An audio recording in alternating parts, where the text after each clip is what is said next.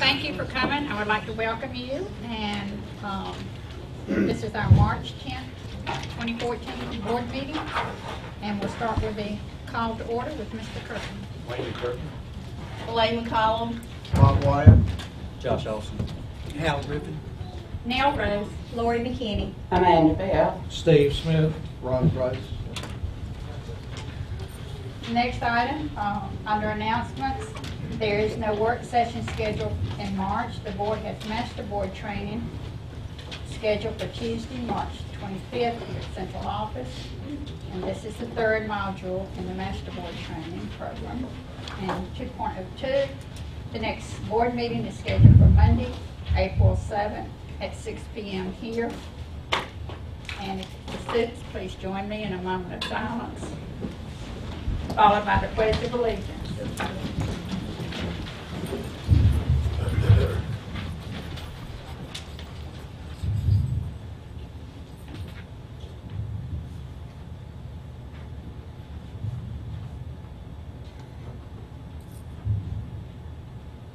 Thank you. I Pledge allegiance to the flag of the United States of America and to the republic for which it stands, one nation, under God, indivisible, with liberty and justice for all. Thank you. Under recognition, um, Kayla Fogg and Ms. Bell is going to present something. Sorry, sorry, Ms. Bell, you have to wait a minute. We need to approve the agenda, and is there a motion? So moved. Second. Thank you, Mr. Griffin. Second by Ms. Bell. And we'll start with Ms. McCollum. Yes. Yes. No, I take issue with 1002. Yes. Yes. Yes. Yes. Yes. Appreciate being Yes. Yes. I was thinking I wanted to make. You need to, No, it's okay, I got rushed through that. Go ahead. Okay, good. Oh, Thank you. Nine, one. And the next item is the recognition. Thank you.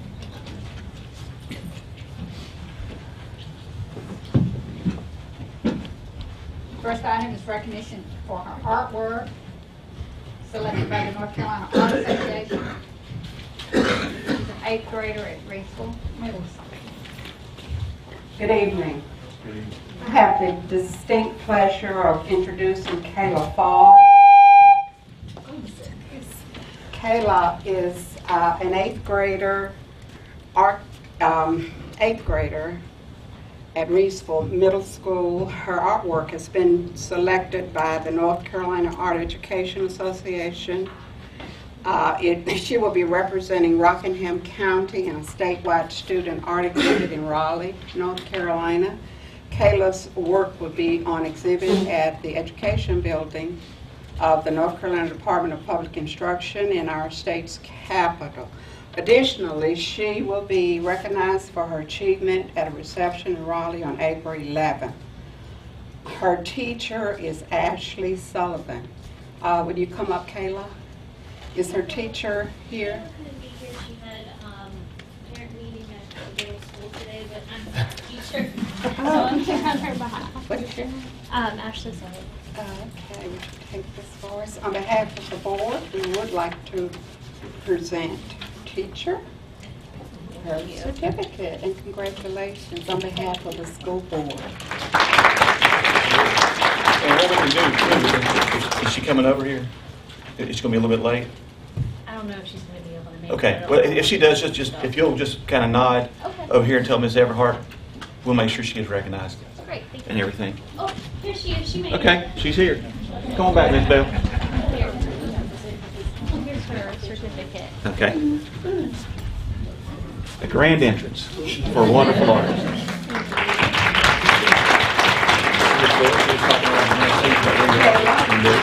On be- on behalf of the school board, we would like to congratulate you. Thank you.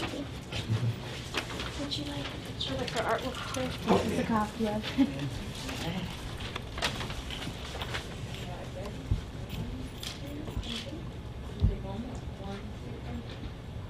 Congratulations. Congratulations. Congratulations. Thank you.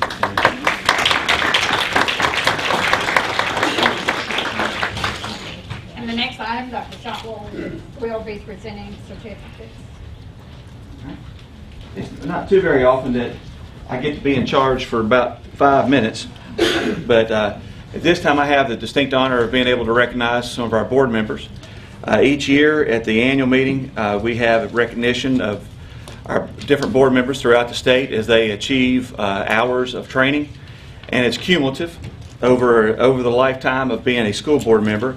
Uh, The individual uh, level recognition, the board members who participate in a minimum of 30 hours of training during the 2012 and 2013 academic year are being recognized for their achievement. And you need to see, need to understand why that's important because the state statute requires 12 hours for each uh, board member, and this is for 30. These members received individual, uh, different level of certificates, and at this time, when I call your name, if you'll come down. The uh, first person is Miss Lori McKinney. She has an award of excellence for having 301-plus hours of training.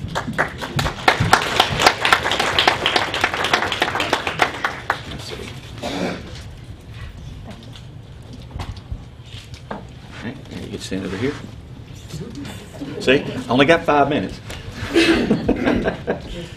And then uh, I'd like to recognize Miss Elaine McCollum, a Diploma of Honor. She has uh, 501-plus hours of training. Congratulations. Now, aren't you going to say family can stand up? Sure. I have a family. Wait a minute, I had family. Well, okay, everybody stand up. If you're a distant cousin or anybody else, please stand up at this time. Thank you, Dwayne. There you go, okay. One each, that's good. All right, here we go, let's try it again. There you go. Miss Amanda Bell, she also has a Diploma of Honor with 501-plus hours of training.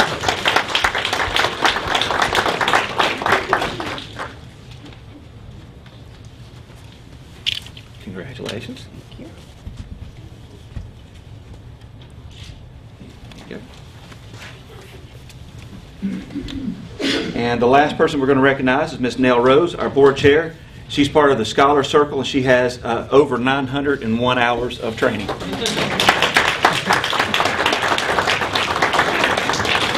Just 'cause I'm old. Uh, No, that's more time than I spent in my Algebra 1 class. All right, and then we'll get a picture right here.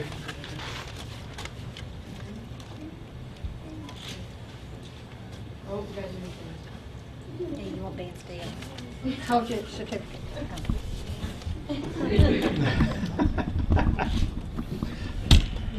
You know, we're putting this on Twitter, so you know, you got to smile. Uh, I'd also, at this time, um, I'd like to recognize Ms. Everhart and just have, just recognize her here. The board clerks from all over the uh, state also received, received training during this annual uh, North Carolina School Board Association event, and she uh, moved into the Certificate of Excellence this year. It is three steps up from the be- beginning level, and we'd like to congratulate her as well. Thank you. And the reason I don't have certificates is because these two ladies refused for me to do that. Uh, the next person that I'm recognizing uh, is Ms. Karen Heiler. Uh, every year there's Blue Ribbon Awards by the North Carolina School Public Relations Association. And this past year, uh, Rockingham County was recognized for seven uh, different items. We were recognized for um, our handbooks, the uh, identity and image package, which is our Rockstar uh, and uh, Shooting Star logo, the internet website, our marketing campaign, our newsletter, and then we were recognized for two special purpose uh, publications. So we, our hats off for that. We appreciate you doing that for us.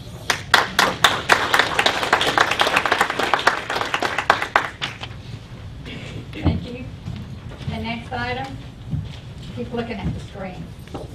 Um, Mr. Duane Hensley will provide a Western Rockingham Middle.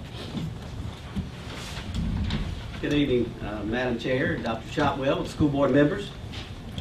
My pleasure to speak uh, this evening about uh, some of our accomplishments at Western Rockingham Middle School.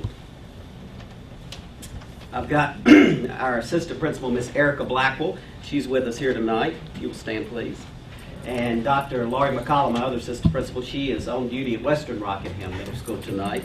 And then I've got Miss Nicole Overby, that's going to be my guest up here in just a few minutes, a new teacher. So I'm going to start with our little PowerPoint here and um, go from there. Just talk a little bit about our success. When you look here at, when you walk into Western Rockingham Middle School, our motto for WRMS is willing, ready, and motivated for success. Our kids hear it every morning and they see it when they walk in the school there. Couple things that we started last year and continuing to build with this year. One thing we brought to Western Rockingham Middle School and started was a mentoring program, building a non-threatening relationship with students who need extra social, emotional, and academic support. This right here, I know y'all have seen a lot of snow here lately, so believe it or not, we paid for this snow to come to our school uh, several months ago before we knew we were going to get all this snow. But we, uh, with our accelerated reader program and students meeting our goals and our mentoring program, uh, you'll see a few slides in a minute, but we actually had a company come in and they created a little ski slope out there for us.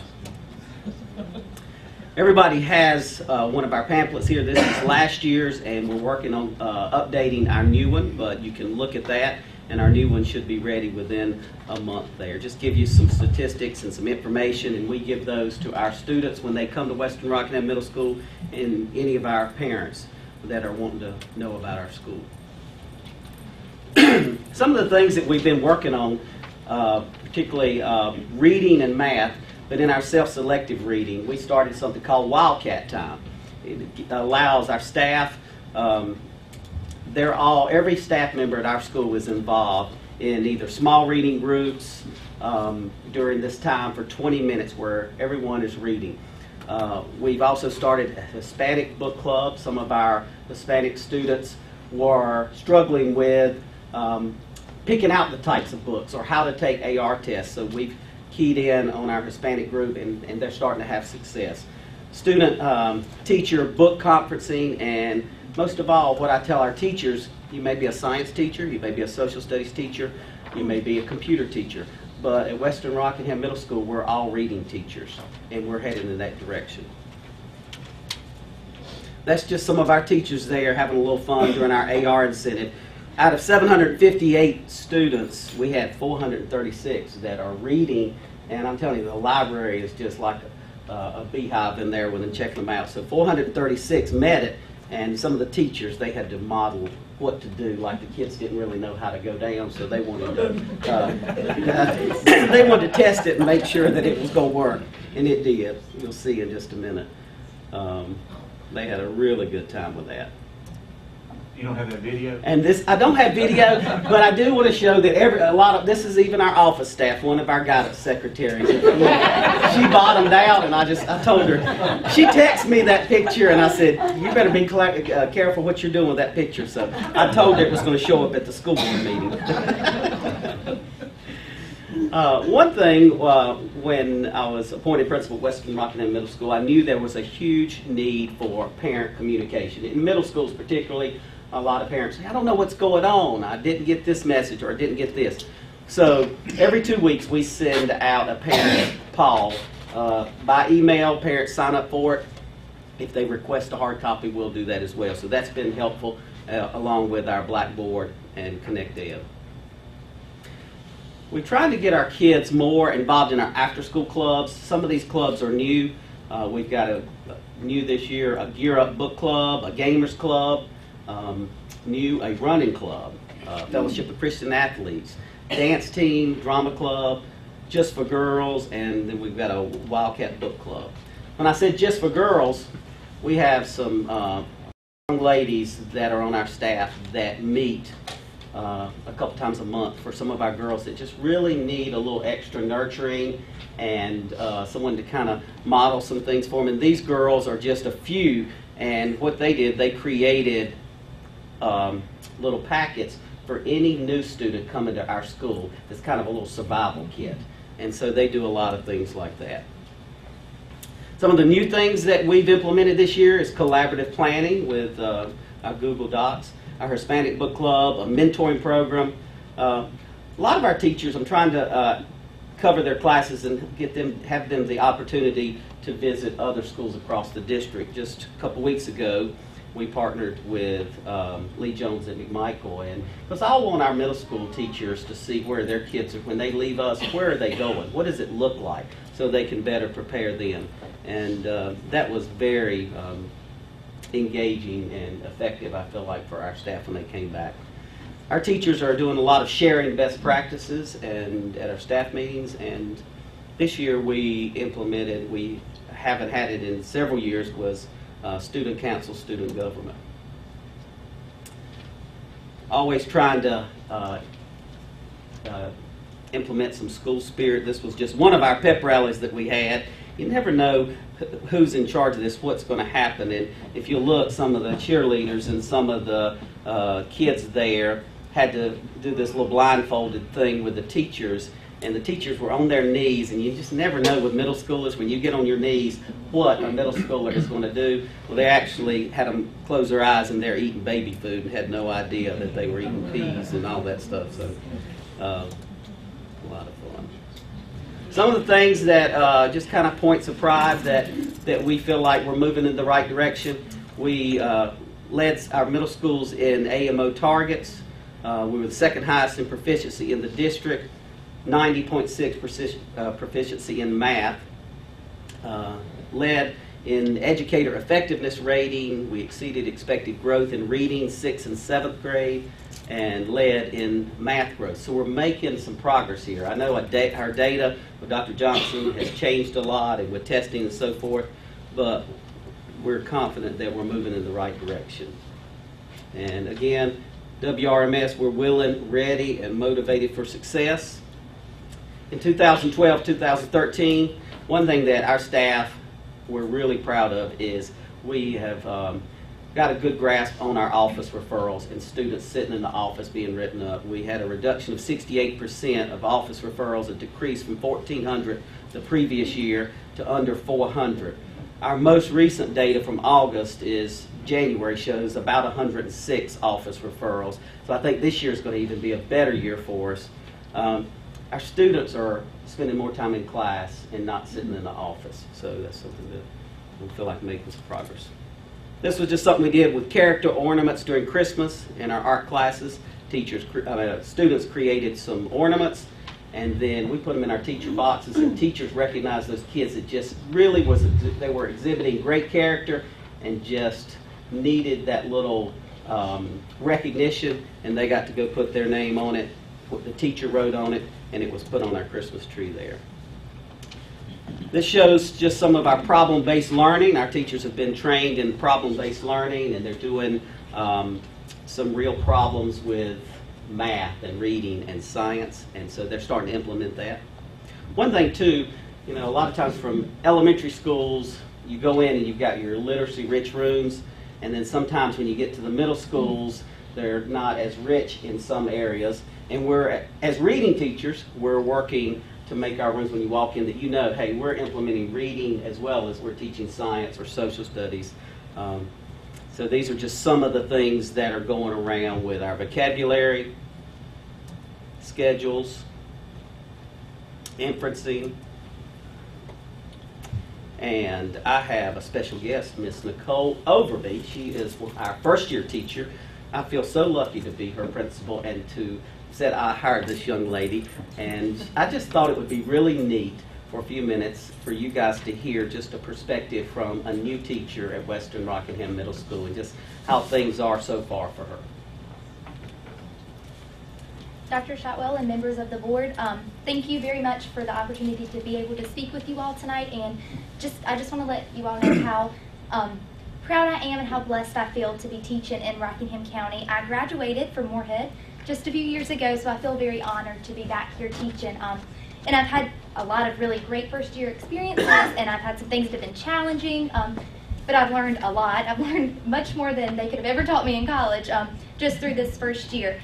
Um, and, and, Mr. Hensley, he's hit on a, a, lot of things that, that are really great at Western Rockingham. Um, I think especially with middle school, working in that team setting and being a part of a team where, where I have a language arts teacher and a math teacher and a science teacher who are able to just help me in, in so many ways and who are there to support you and encourage you and, and, and are there to build you up. That's been very positive for me. Um, and also just being a part of a school that pushes me to be better and teachers don't just shut their doors and, and, you know tell you to figure things out on your own they're there to share things with you and, and i definitely think the teachers at western rockingham are very willing to um, you know put things out there give you ideas and i genuinely think that all teachers there are, are there just to help the students. They're not worried about you know keeping their ideas to themselves. They, they, they really are there you know to, to help the students and are willing to push you to do the same. Um, Another, another positive first year experience has been just having a creative and energetic group of students.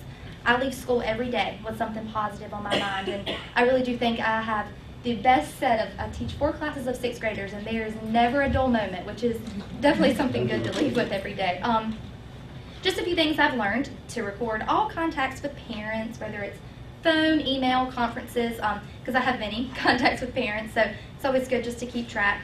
And just to ask questions, I guess going into teaching, one of the things I was really worried about is not knowing how to do everything, not know, knowing how to set AR goals, and just little things you don't think about, um, like work in PowerSchool. But there's always people who are there to help you, and people that are there to, you know, help you relieve your stress. Um, and uh, something that I that I never did student teaching, and something I've really done this year that my team members have really encouraged is to use school personnel. So I've done that a lot, such as guidance counselors, social workers school resource officers. They've been very supportive and are um, they're there to help you. You know anything anything that you need. So that's that's definitely been um, positive.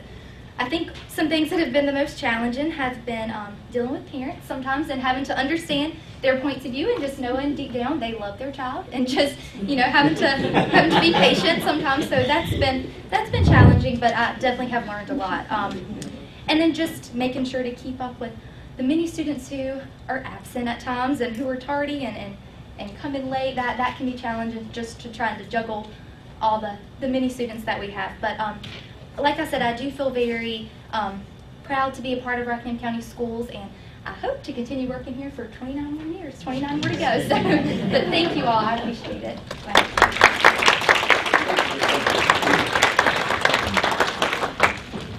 Thank you, uh, Dr. Shotwell, School Board. Does anyone have any questions? Thank you. Thank you. I have a question. Oh, one more. What has been your biggest challenge moving from elementary to middle, Mr. Hensley? The biggest challenge was, it's been several challenges, but I guess the biggest uh, transition, um, I think the, the discipline, getting the discipline headed in the right direction, um, and this year's much better. But the first couple. It has. They had it before, um, but the way uh, I think our teachers are um, utilizing it, and they, you know, the buy-in's kind of used a lot, but um, they know what PBIS is. But teachers and staff know they expect the students to follow um, the rules. Example. Our kids, beginning of the year, they have two planners. We give them a planner at the first semester and second semester. And my first year there, I just noticed, you know, kids were running up down the hall. I'm like, well, where are you going? Why are you there? Why are you? And they'd give me a good reason why they were out, but it wasn't necessarily the best reason that they should be out. So I told them, I said, this year, your planner is your driver's license. If you don't have your license, you do not drive.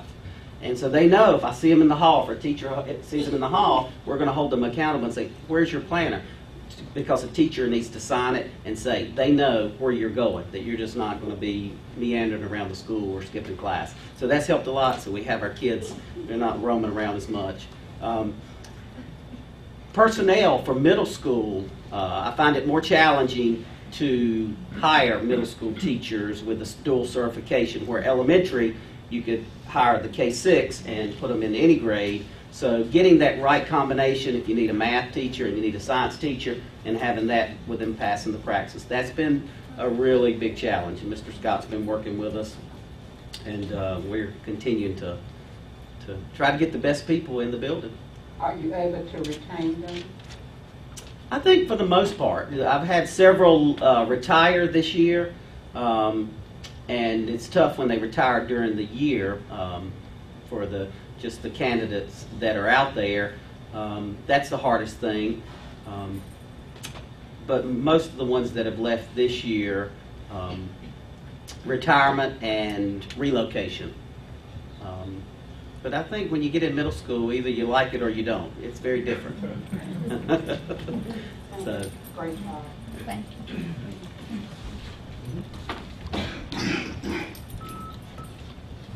Okay, our next item is public comments.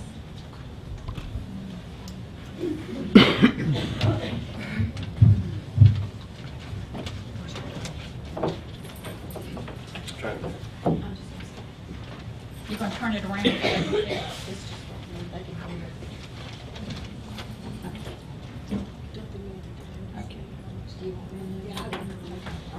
I think it's easier for them to see the that they're.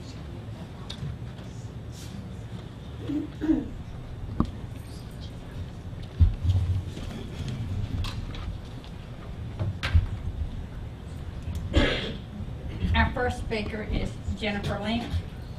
And please come to the podium and state your name, phone number, and address. Hi, I'm Jennifer Link. I live at 125 Millwood Road, Reidsville. Um, My phone is 347-7592. Dr. Shotwell and members of the board, I'm here to speak before you again this month, and I brought some friends with me who are wearing red. And I noticed Ms. McCollum was wearing red today, too. The County Association of Rockingham Educators, CARE, continues our efforts to inform teachers in our county about the 25% contract. We strongly feel no employee should ever be forced to give up employment rights in lieu of salary compensation, which is, which is exactly what will happen to 25% of the 850 teachers eligible to receive this contract in our county.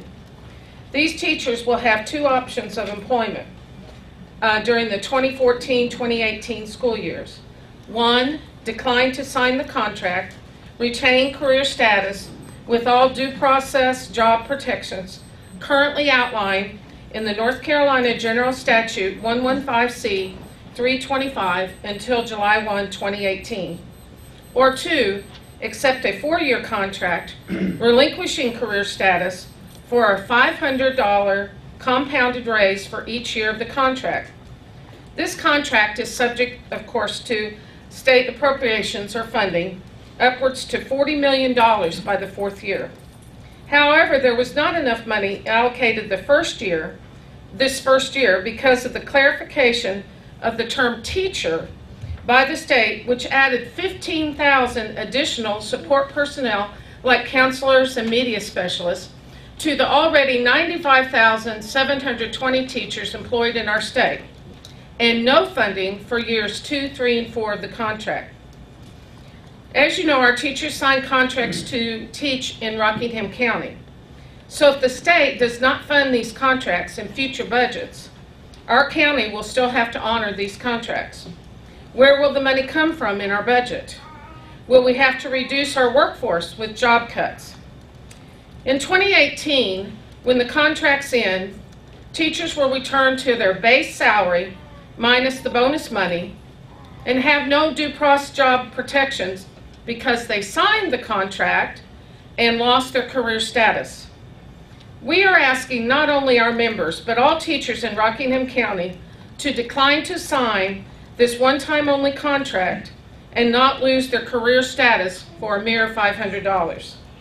Please consider passing the resolution to stop this demoralizing and ill-conceived legislation and send a clear message that you support all educators in Rockingham County. Thank you. Thank you.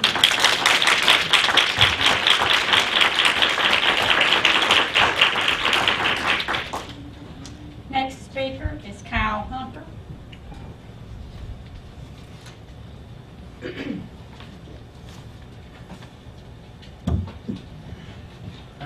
Kyle Hunter, 635 South Pierce Street, Eden. phone number 627-3062. Good evening. My name is Kyle Hunter, and I serve as president of the County Association of Rockingham Educators. I will be speaking on the issue of the 25% contracts. Our organization is opposed to this demoralizing legislation because of its harmful effects on the culture of schools throughout our district. The culture of any school is a delicate balance. When you introduce a competitive Hunger Games mentality, teacher morale suffers and students are adversely affected. Teacher collaboration is considered a best practice in education, and it is part of the teacher evaluation rubric. However, this legislation discourages teachers from working together to plan engaging lessons for students, and instead it encourages individual instructors to focus on test preparation so that they can look better than their colleagues. Let us consider an example. Suppose two teachers teach the same grade in students. They are expected to plan lessons together and review assessment data as a group. Under the current legislation, one could receive the bonus while the other could receive nothing. Now, you tell me how fair that is. And this legislation is one of many attempts by the current legislature to destroy public education. After all, even the Bible says that a house divided cannot stand. When we start keeping score for everyone, individual teachers will begin withholding ideas so that they can shine a little brighter than those around them, and students will be the one to suffer in the end. The 25% contract legislation does not give local districts any guidance with regard to how the 25% is selected. A large majority of teachers in Rockingham County have been rated as proficient on all of the teaching standards, and that's a good thing. Is it really possible to determine who is the best from such a large group of people? Will we just forget about the other excellent educators who just didn't make the cut?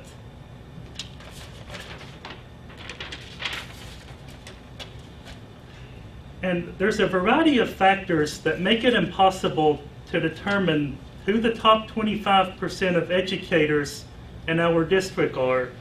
Elementary, middle, and high school all present their own unique challenges, and the teacher's test scores are not always a reflection of his or her teaching abilities.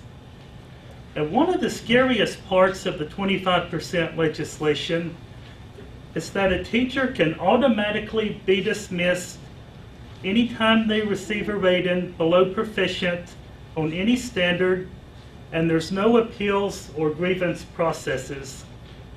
Teacher evaluations always contain a certain amount of subjectivity since it's one individual. We're all human, nobody's perfect. And sometimes something as simple as a personality conflict with an administrator could cause an excellent teacher to lose his or her job. Also, effective educators change schools, and this could even affect their rating. A change to a different school environment can cause even the best educators to temporarily drop below proficient until they find their niche with a new group of teachers and students. And does this make them a bad teacher that we should just automatically get rid of? You will receive a copy of a resolution from Mrs. Link that we would like for you to consider. It's right here. Miss Link is bad. We would like for Rockingham County Schools to join the statewide efforts to stop this demoralizing legislation to all teachers in the county. At least 10 districts have already passed resolutions against the 25% contracts, and Guilford County has taken the courageous step of suing the state. Thank you. I think your time is up. Okay.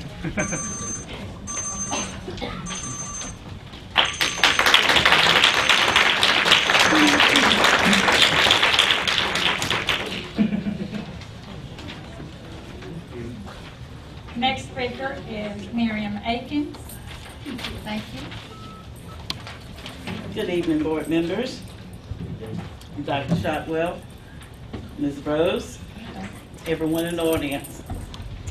For several months now, we've witnessed some very contentious board meetings here, simply because of differences over various issues. For example, prayer, Common Core, the 25% contract. One of the reasons that the board members are elected by the citizens is to bring their varied resources to the board, work out the differences, and come to a consensus that does not pit you against one another. It's very possible and most likely that there will be disagreements. However, the process should bring discussion and a conscientious respect for one another. Unfortunately, this has not been the case. Once again, as a citizen concerned for education, I implore you, I beg of you, to bring forth the standard of integrity that is expected of you as adults and examples for our children. It's ironic and interesting that at the last meeting, there was recognition, well-deserved recognition of a young lady, Miss Harrison, at the school that had a project on bullying and how it harms and how we can stop it. Yet some of the members of this board have modeled the bullying actions themselves. How can we expect our students to do more than we example? I have a personal question to ask concerning Common Core, and that's whether or not each one of you on the board have actually looked, personally looked, at any of the new curriculum, Common Core curriculum, not the old, the new Common Core curriculum for yourself. Have you examined it yourself? Have you looked to see if it's appropriate for yourself instead of just going on what you hear other people say? And I do expect an answer when it comes time for board comments. I really do. Um, now I'd like to offer a couple of more things, a scripture and a prayer. Because a moment of silence is not praying. You haven't said anything. First of all, the scripture, who is a wise man and endued with knowledge among you? Let him show out of a good conversation his works with meekness of wisdom. But if you have bitter envying and strife in your hearts, glory not and lie not against the truth. This wisdom descendeth not from above, but is earthly, sensual, and devilish. For where envying and strife is, there's confusion and every evil work. But the wisdom that is from above is first pure, then peaceable, gentle, and easily entreated, full of mercy and good fruits, without partiality and without hypocrisy. And the fruit of righteousness is sown in peace of them who make peace. The young man said it very well right before me. A house divided against itself cannot stand.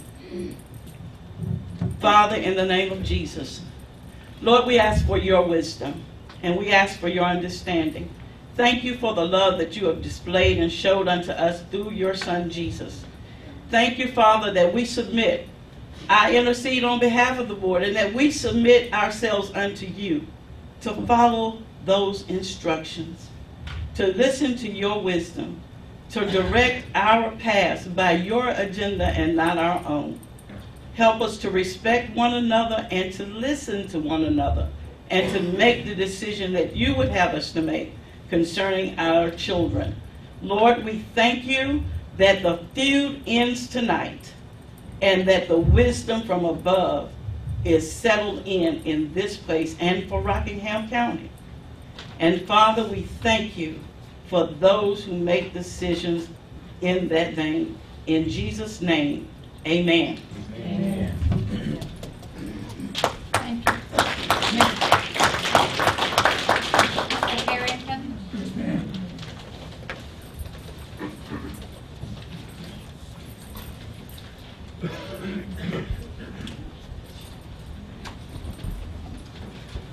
Thank you, sir. Yes, sir.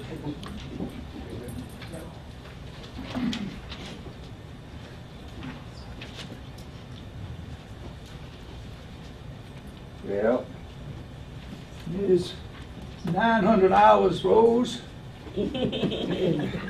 Rest of you scholars, uh, let me talk to you just a few minutes. My name is Thomas Harrington. I live in Eden. Telephone number 623-2225. I've got several things I want to speak to you right quickly. Thoughts I want to put out to you. Uh, I haven't felt that my thoughts in the past were too well received. But anyway, I represent over a thousand people. You're going to give me five minutes to speak, and there's at least one or two of you uh, seem to be anxious to cut anybody they don't like off, but uh, I can do it in five minutes. We've got a motto. I'm chairman of the Will of the People, and our motto is this: No person is fit to sit on a governing board who does not recognize that the will of the people is a fundamental law of free government. And I need all y'all to ask yourselves, how many of you listen to the will of the people? As far as this Common Core is concerned, you know, you don't pretend otherwise, you know that the people in Rockingham County don't know what it is. They don't know anything about it. I've talked to a bunch of them. I haven't talked to you all, but I strongly doubt you don't know what it is. You might have thought you knew what it is back some time ago, but you don't know what it's going to become.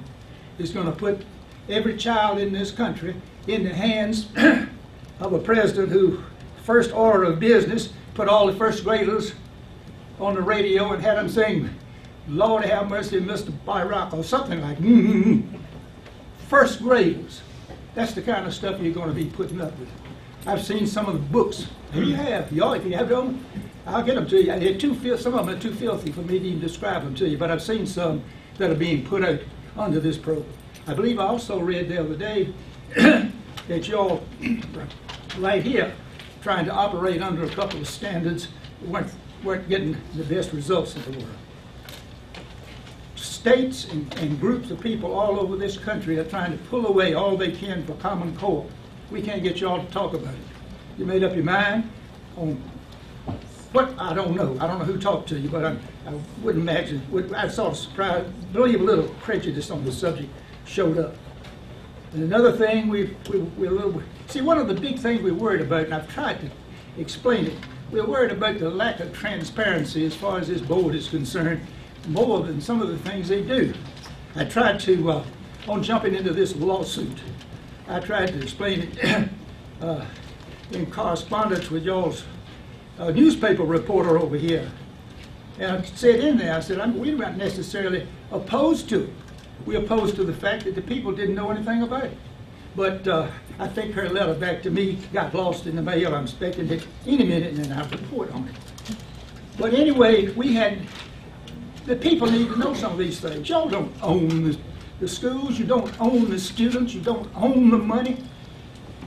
You're supposed to be listening to what the people tell you on these important things, and you're not doing it, you're not trying to do it. Now, also, this, while I'm on the subject, of- well, you people don't understand why you got involved in that fight with the Board of Elections. What business was it of yours? But anyway, y'all took part in that thing, and why, why didn't you ask the people if they, how how they felt about what the Board of Elections were trying to do? Y'all just, y'all just come on in and shoot, shoot first and ask questions later. Now, the time you allow people to speak, you need to think about that. I know you can't let somebody talk like, talk all night, but I also know that the way you've got it set up, I can talk to you tonight. You won't, you won't talk to me. I think you're too good, good to talk to the people you represent. I can talk to you and ask you questions. I don't get an answer. And I won't get an answer next time you have a meeting, because that's, we can't talk then. So what, what do we do? I go wait another, I wait ano- another month, come back here nobody even remembers what we were talking about. Now, that's, that's not right. It is not right, and you owe it to the people of this county to treat them a whole lot better than you are. Maybe you don't realize what you're doing, but you absolutely, you ought to get out here and talk to the people that are level with you. If you think they love you, you're wrong. Uh, I love you, but, uh, but they, so anyway, we, we want some information, we want to know what you're doing, and when you do something that is large, we want you to get some feeling from the people. Not come over here and the first one catches, grabs the floor and makes a motion, and everybody else grins a little bit and says, ah. That- that- That's not, that's not what you're paying, we're paying you for. And that's not, that's not what we want to keep getting either. Thank you very much.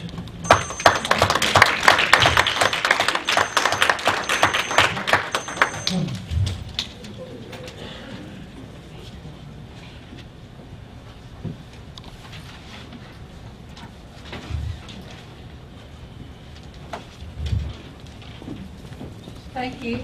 The next two items are usually taken in a single motion, the consent agenda. You have the personnel consent items.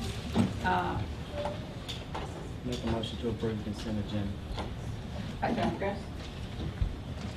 Uh, That was the uh, substitute teacher, bus driver, child nutrition sub-list, and the minutes from February 10th, and the master board training minutes from February 25th. Does your motion include those? Yes, ma'am. Thank you. A motion by Mr. Austin and a second. Was that you, Ms.? Yes. Ms. Bell?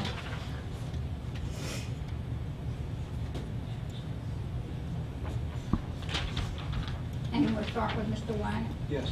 Yes. Yes. Yes. Yes. Yes. Yes. Yes. Yes. Yes.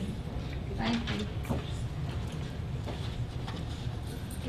The next item, um, budget amendments, and um, Mr. Turpin's father was buried this afternoon. Dr. Shelton.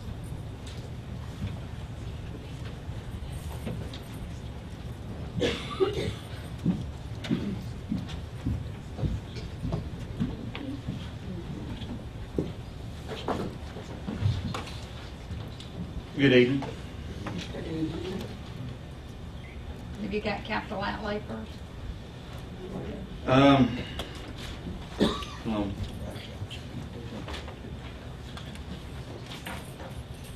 we got them color coded, there we go. Capital outlay.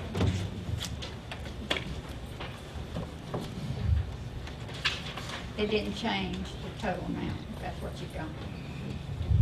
You, you decreased, uh, from one line item with bus, uh, bus garage equipment to bus garage computer equipment. Because as you, uh, know, our new buses, uh, do require a laptop to do some of the diagnostic work on there. It's not just pistons and a, uh, distributor cap anymore. So. Any questions on capital outlay? Okay. Uh, what's next on there? I've got other restricted funds. Uh, Okay. Dr. Charbonnet? Yes, ma'am. Are we receiving any capital outlay money from lottery anymore? Um, They still advertise it, but I don't think, we're not getting anything, are we? a- actually, that's what's paying for Douglas School. I mean, still? Yes. Because what happened was, it was some, it was some money that was built up, because we had not touched that money at all when the lottery first came into effect. And so there were some, some, some funds that were built up in there. And, um, and then as funds are coming in on a, on an annual basis, we're using that to make the, basically the house payment every year on the, on the property. The problem is, is that the, the percentage of the money that the county and the schools are supposed to receive that goes towards these uh, capital projects is not where it's supposed to be. It's supposed to be forty percent, and we get twenty percent. And, you know, and that's, that's just, um, Not what it used to be. right. And, uh, so, I, I have a few words to say too when I see some of the ads, I but, know. yeah. It's it's very misleading. so. But yes, ma'am, that's what we're spending that money on right now, It's for Douglas.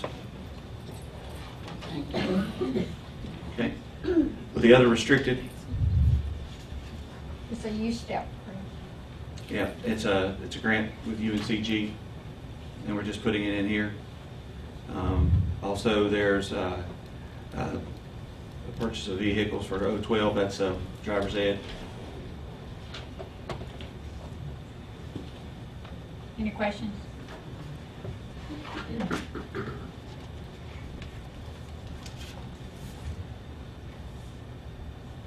I'm so afraid that thing's going to fall into. What's next? Federal grant fund. Federal? Okay.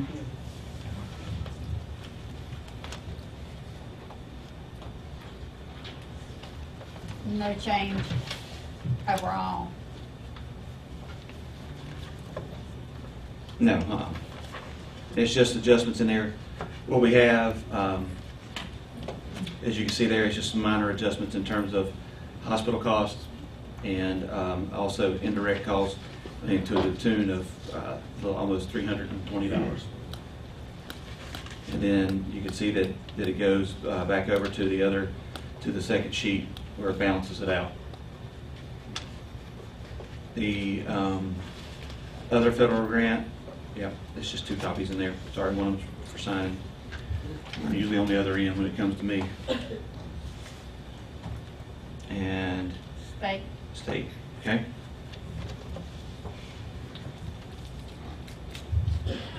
You know, as the school year goes on, we do receive um,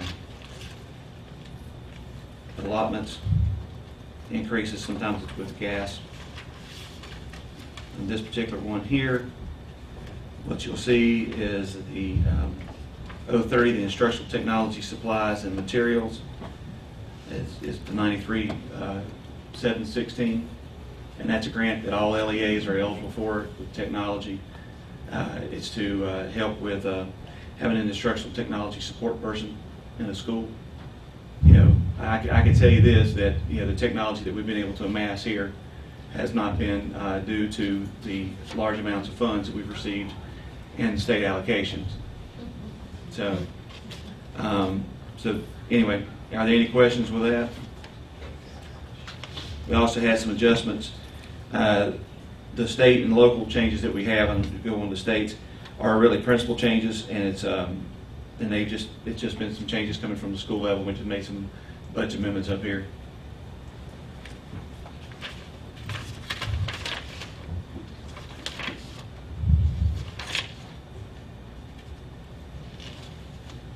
Just like if you look on um, 003, on the 1.6540, Which one are you on? uh, it's state. It's PRC 003. Okay. It's that third set of numbers. You know, the adjustment there, the 15,984, is uh, adjusting for some of the salaries for custodians. As we start getting closer to the end of the year, it's more accurate uh, cost. And, you know, we do have our custodians that are being paid out of that. If you'll look, uh, we've adjusted that and we've uh, traded it over to uh, 311, which is contracted services. We do give the schools the right that like I, I know one school uh, spoke with me last week and said, you know, they're allocated a 10-month custodian.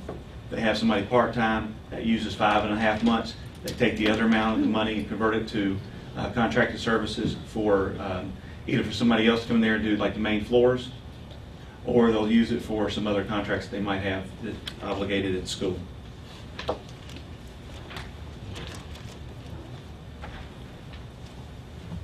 Finally, the local current expense. There's no increase or decrease with that. And again, what you'll see are some adjustments that are coming from principals uh, with instructional supplies, just re- reallocating that back out uh, to other textbooks. And again, these are, are um, items that the principals have control over, and they do have the right to be able to move those around between the different ones, obviously, with Do they approval have there. to spend by the end of the month? Uh, Yes, they're supposed to have most of it spent at the, at the school level. They're supposed to have it encumbered by the end of March. And that way, you know, because surprisingly enough, uh, it does take a little bit of time to work all that out and get it all uh, resolved so that we can have, and that's another reason why I really appreciate you guys having that really brief meeting at the end of June, because it allows us to uh, have a more accurate count for the audit purposes for uh, money um, adjustments, because I know uh, some districts will project about two weeks into June what it's going to look like at the end of the month. And I can tell you with any best laid plan, uh, something will come up that you'll have to change. And rather than having a, uh, a ledger adjustment after the year's over with, we go ahead and make an adjustment on the front end. So if there are no further questions, I would uh, respectfully ask if you all could approve the budget amendments on- on behalf of Parker. Make a motion to approve. Second. Motion by Mr. Kirkland and second Joshua, no, one of them over here. Hold on. Was it you? Okay, Josh. A motion by Mr. Kirkland and a second by Mr. Austin, and we'll start with Mr. Austin. Yes. Yes. Yes. Yes. Yes. Yes. Yes. Yes. Yes. Thank you. Next item, you're back up. Um, Calendars. Yes, ma'am. Um, This one, I only have New Vision, is that right? Yes, ma'am. We have New Vision here.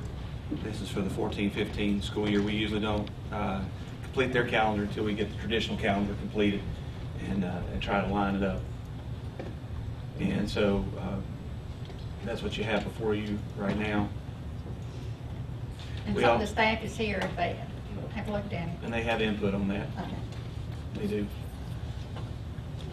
What are the revisions to the 2013-14 calendar stated here? To the current calendar? Yeah. Uh, Well, it- it's not on this one right here, but, uh, you know, You want us to approve this and then we'll Yeah. go to that? yeah, we can do that, yes. This one's up for approval, um, fourteen, fifteen New Vision calendar. And then he'll go into the, you're talking about the makeup days at this time?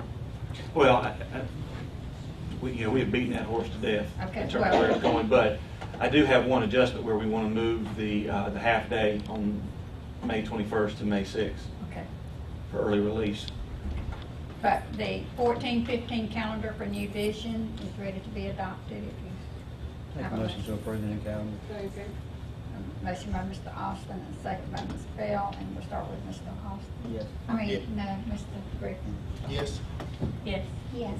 Yes. Yes. Yes. Yes. Yes. Yes. Yes.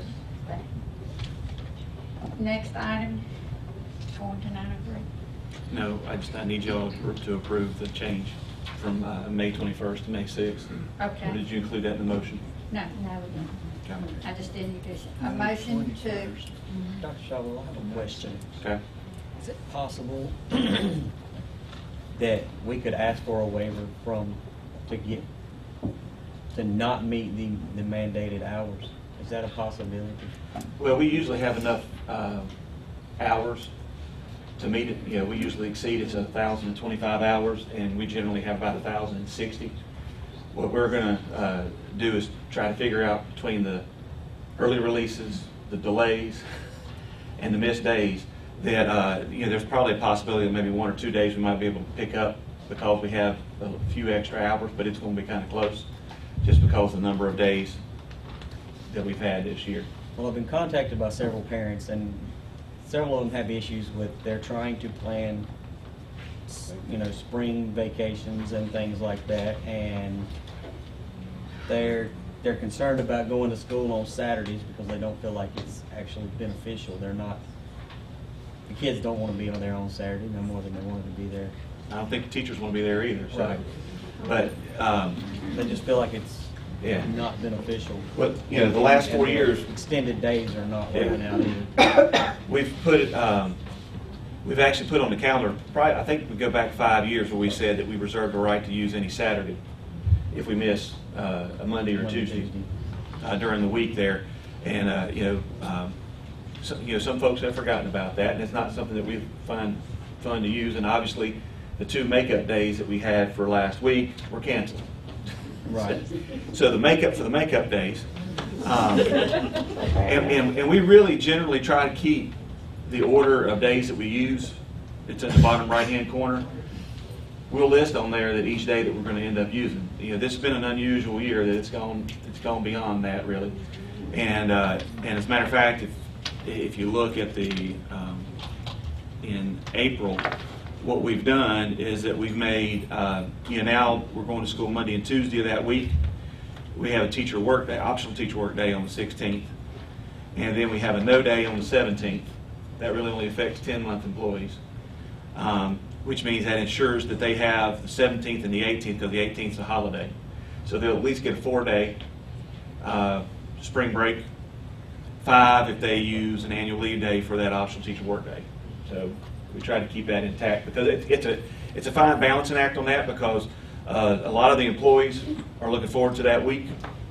Um, the kids are looking forward to that week, but in reality, the vast majority of our children in this county are not going anywhere, and it's and it's hard for some of our elementary parents to try to find uh, childcare during that week. So there's probably a lot of elementary school parents that are extremely happy that they're only going to have to try to find somebody to to watch their children while they work for three days instead of five. So it, it's always kind of a balancing act on that. And I'm speaking to the choir for some folks who were in, in schools. And, uh, you know, I remember something that Mr. Scale said to me about Christmas. He said, I got the day. I didn't get two weeks. Because we were open late on Christmas Eve and we opened uh, sometimes late Christmas Day, opened the store back up to get going. So, What is a no day? well, it's an irritation for finance, but it's a way for us to be able to have, uh, rather than putting employees at risk for, uh, for coming out for an optional teacher workday, it's, it's basically a, a no day. And for 10-month employees, you really don't see the difference because you still are going to be employed for 215 days for teachers. It just moves it out. So it's like you remove a day out of the month. But it doesn't change anything like, like teachers are paid on a monthly basis regardless. So if we add a day in June, they've already been paid for it. A lot of because it's prepaid because of the legislation in, in August. So now, you know, we're going until June, June the 18th possibly. And no pay. And- no paychecks. Right, and, and they're not getting a paycheck in June, but you gotta remember, they got paid, prepaid in August. For our uh, hourly folks, they'll, they'll catch up that day on the tail end. Our hourly folks will get a check in June. So they'll receive work, so in the end, it'll be a wash. Ten-month employees are supposed to get what they're supposed to get. But for us, it's an, it's a way for us to, uh, keep employees safe. Because I know like February 13th and 14th are considered no days on the calendar. They have a black line strike through there. And there was no way in the world I was going to ask a teacher, even if we said it was an optional teacher workday and we say review your options. I got some that would get cross-country skis, put them on the bottom of their car and try to get to work. And so, um, and, and we only have so many work days. When they did a calendar change and they went from a 220-day contract to 215, we lost five work days that we used to be able to use for makeup days. It's also imperative um, as a, as a school level principal and data manager that we have work days at the end of the school year because there are, there are absolutely things that teachers have to do at the end of the year to do that. While I believe that 99% of our teachers would do it, even if we didn't have any work days at the end, I don't want the whole school being held up because of 1% of the teachers went ahead and started their summer vacation without getting their grades and, and things turned in. So we try to move things around that way uh, to try to take into account if it's going to be a work day. We generally look at the fact and see if the, if the, if the roads are, are safe for people to travel. Even at 10 o'clock, if we have a, a teacher work day, is it still going to be safe for them to travel? And for this year, it's been, I'd say that answer's been no. Out of the eight years here, this has been the worst winter that I've had to deal with. Another thing, somebody said you can't get the state to forgive days, that they changed that law. Right, there, there's no forgiven days anywhere. They get it confused because in Virginia, they can, they don't have to make up a certain number of days, I forget. Nancy, are you here? How many days? So you have to make up the first five, and then you skip a couple, then you make up the seventh and skip, take one. So, so there are some forgiveness days in there. One of the things I do like, uh, I remember when Hurricane Floyd came through, was it 99? Yeah, It was one of them times. I was I was a principal whenever it happened, I remember that part. Uh, But I remember that, you know, 66 counties were included in that, and they changed it from uh, 1,025 hours and 180 days to or. And that's been the only time until the legislation two years ago. And that actually helped us because that winter, even though we weren't affected by Floyd as much, but we were part of that 66 county designation, we were able to use it because we didn't go to school for two and a half weeks. And so we were able, you know, we, we added time on. Is that the very best thing? Probably not overall, but we're meeting what the law tells us to meet. And, uh, you know, we're, we're going to calculate our days to see where we are, but we started the year out, everything held equal to be about 1,060 hours. And so, uh, you know, we'll check that out and make amends. So we need another motion to approve May 21st Hank Day to move to May 6th Hank Day. Is there a motion to approve? So moved. Thank Second. you, Mr. Goodman and Ms. McCall. And my turn, my turn. And I'll vote first. Now, yes. Yes. Yeah. Yes.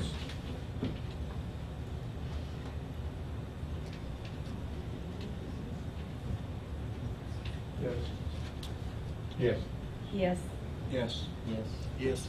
Thank you. And I just want you to know, I've already worked it out with the sheriff. He's gonna have people on duty, and we're gonna talk to the schools. It's Lincoln, Monroe, and Williamsburg, Huntsville, and McMichael, see what we can do about keeping minimal uh, interaction that day. So, and again, I I told you, I I took uh, credit for the snafu, because usually I catch those on the even years when we have a larger turnout. Because with those five precincts, we've got almost 19,475 people that are registered to vote. I'd love to see 19,475 people show up. That'd be awesome. But uh, on the worst-case scenario, I got a plan for 19,400. Thank you. Next item. Casey. Sinsnet. There you go. I practice. No, I know her. Good evening. Oh, this is that 58 pages? I don't know if they can read it fast enough for me to go through it all. No, they've already read it. Thank you for having me. I'm going to give you a little update on the technology plan and then answer any questions that you may have. So just kind of want to let you know where we've been, where we're at, and where we're headed. Currently, our teachers and certified staff received their new laptops this school year that was in the former technology plan, and all 11, 1,100 laptops were handed out, and we collected their old ones back. We then, in turn, took those and have distributed them to the middle school. Even with the little weather issue, they are now officially on site for the middle schools. So that will provide approximately 800 laptops for middle school students in our four middle schools. And we also included Booker T. Washington in that as well. We also added 350 Chromebooks to that, giving each school nine new carts of laptops at the middle schools. And then our middle school principals opted to take the netbooks that they already had in their possession at the schools, and we upgraded their Wi-Fi cards for them.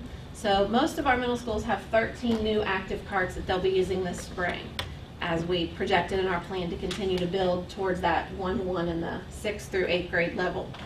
In our high schools, we're still one-to-one with our Chromebooks. It's going very successfully. Our LMS with Canvas, our learning management system, continues to be very successful. The students and the teachers both are having, you know, great success, are able to work in it.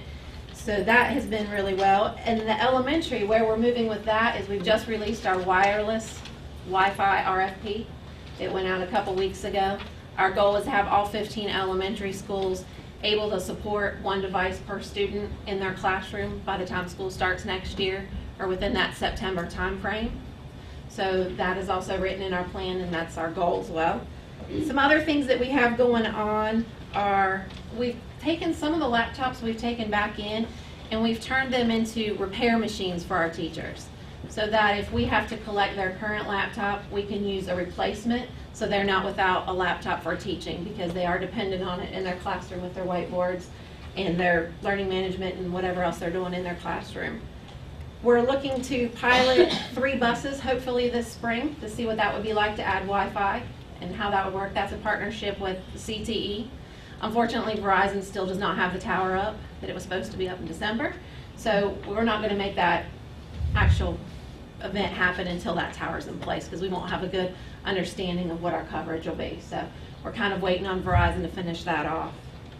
We are voice over IP in all of our schools. We have one school left to place phones, and we will not turn Stoneville's external number on until the summer. And that's because the phone company currently does not want to release that phone number, and it's this phone number that Stoneville's had since it was originally built. So we're trying to convince them to give us that phone number. But if we can't make that happen, we don't want to turn them over because it would mean Stoneville would have a brand new phone number in the middle of the school year. And we don't want parents to have to learn a brand new phone number this hard in. So if we can't make that happen, then we will officially give them their new number this summer. Uh, let's see, what else do we have? Our ITS continue to work with the students and the teachers, our instructional support staff, and our technicians as well. And we've tested our Chromebooks for the online testing with great success. And so all of our English 2 tests and our CTE tests that were online this year, the Chromebook books work beautifully. That's kind of where we're at. We continue to strive to provide those services that our kids need. And before you is the, the technology plan. Answer any questions that you may have, and then ask for your approval. Okay. Mr. Price? You, you mentioned about uh, Wi-Fi on the, on the uh, buses. Uh, What are you expecting to benefit from that? Um, our partnership with CTE is that many of those students on the bus ride for 90 minutes. And so it's a great opportunity for them to take advantage of those Chromebooks while they're sitting on a bus to be able to work on projects or just, you know, do research or, or whatever it is that, that they would do. Of course, filtering would be in place, so they wouldn't be out doing inappropriate things. It would be the same filtering that we have in place within the county. But it would give them an opportunity to take advantage of 90 minutes in the morning and 90 minutes in the afternoon on a bus. And it, it like I said, it would be a pilot, so it may may not be something that we want to go forth with, but it's going to be a partnership with CT and of course transportation because we have to figure out how that logistically looks on a bus. Other questions? Madam Chairman, I'd like to make a motion that we adopt the 2014-16 technology plan and thank the Sensit for an excellent job in formatting. Very good. Thank you. Is there a second? Okay, Second by Mr. Kirkland. Any further questions? How how are the schools in, uh, Ms. Bell? some of those areas that don't access, uh, Wi-Fi really well? How are they doing in those areas? Well, they're finding ways of, of getting it. I mean, you know, the kids have been very resourceful. They're Uh, Rockingham, out in Wentworth. Well, there's a list of places that offer free Wi-Fi, and you, and you know, you'd be surprised at some of the places throughout the county that offer it. Um, and so we have a list. It's a partnership that we have not only with us, but also with the Reidsville Area Foundation and the Rockingham County Business and Technology Center with Mark Wells. out there in Wentworth. Yeah, i- i- it is, and that's, that's another reason why we're holding off on this bus experiment, because that tower will make a huge difference for the middle of the county, and somebody who travels through that middle of the county every day to go home, I know when the thing's gonna die. And I used to tell people, I said, if, you'll wait about three and a half minutes, I will be on the other side, and I'll, I'll call you right back. But it, it'll make all the, all the difference in the world, because where it's gonna be located, it'll be up in the air, and have, it will have a lot of coverage for the, for that uh, dead spot. I mean, anybody who works for the county government out there, works at Wentworth Elementary, Rock Middle, Rock High, if, if you're not on, on a Wi-Fi signal, your battery will pretty much be dead in about two hours, because it's constantly roaming trying to find a signal. Verizon did tell us that it was December, maybe January, or in March, but Where will it, exactly will it be located? I think, um, Right behind the Justice Department. yeah, on that tallest hill, Yeah. or on the building maybe? I, I thought it was on the building. I thought it was I on the understand. building as well. It's on an existing tower behind the 911 center. You might be interested to know that AT&T is putting up three additional towers in the county, one uh, near Rock Creek, one near uh, Mount Zion Church in the western part of the county, and the other one's in the eastern part of the county. And uh, we fully expect Verizon to buy space on at and ts towers. So coverage for both Wi-Fi and normal cell usage should greatly improve. And for you and me, uh, Dr. Shotwell, we can pass hospice without losing our connection. We have a motion, and we'll start with Ms. to approve the 2014-2016 technology plan. Start with Ms. McKean. Yes. Yes. Yes. Yes. Yes. Yes. Yes. Yes. Yes. Yes, thank you. Thank you. Next item is a discussion of teacher employment. And can you explain a little bit about what's going to happen with that? Because I think Mr. Austin has a question.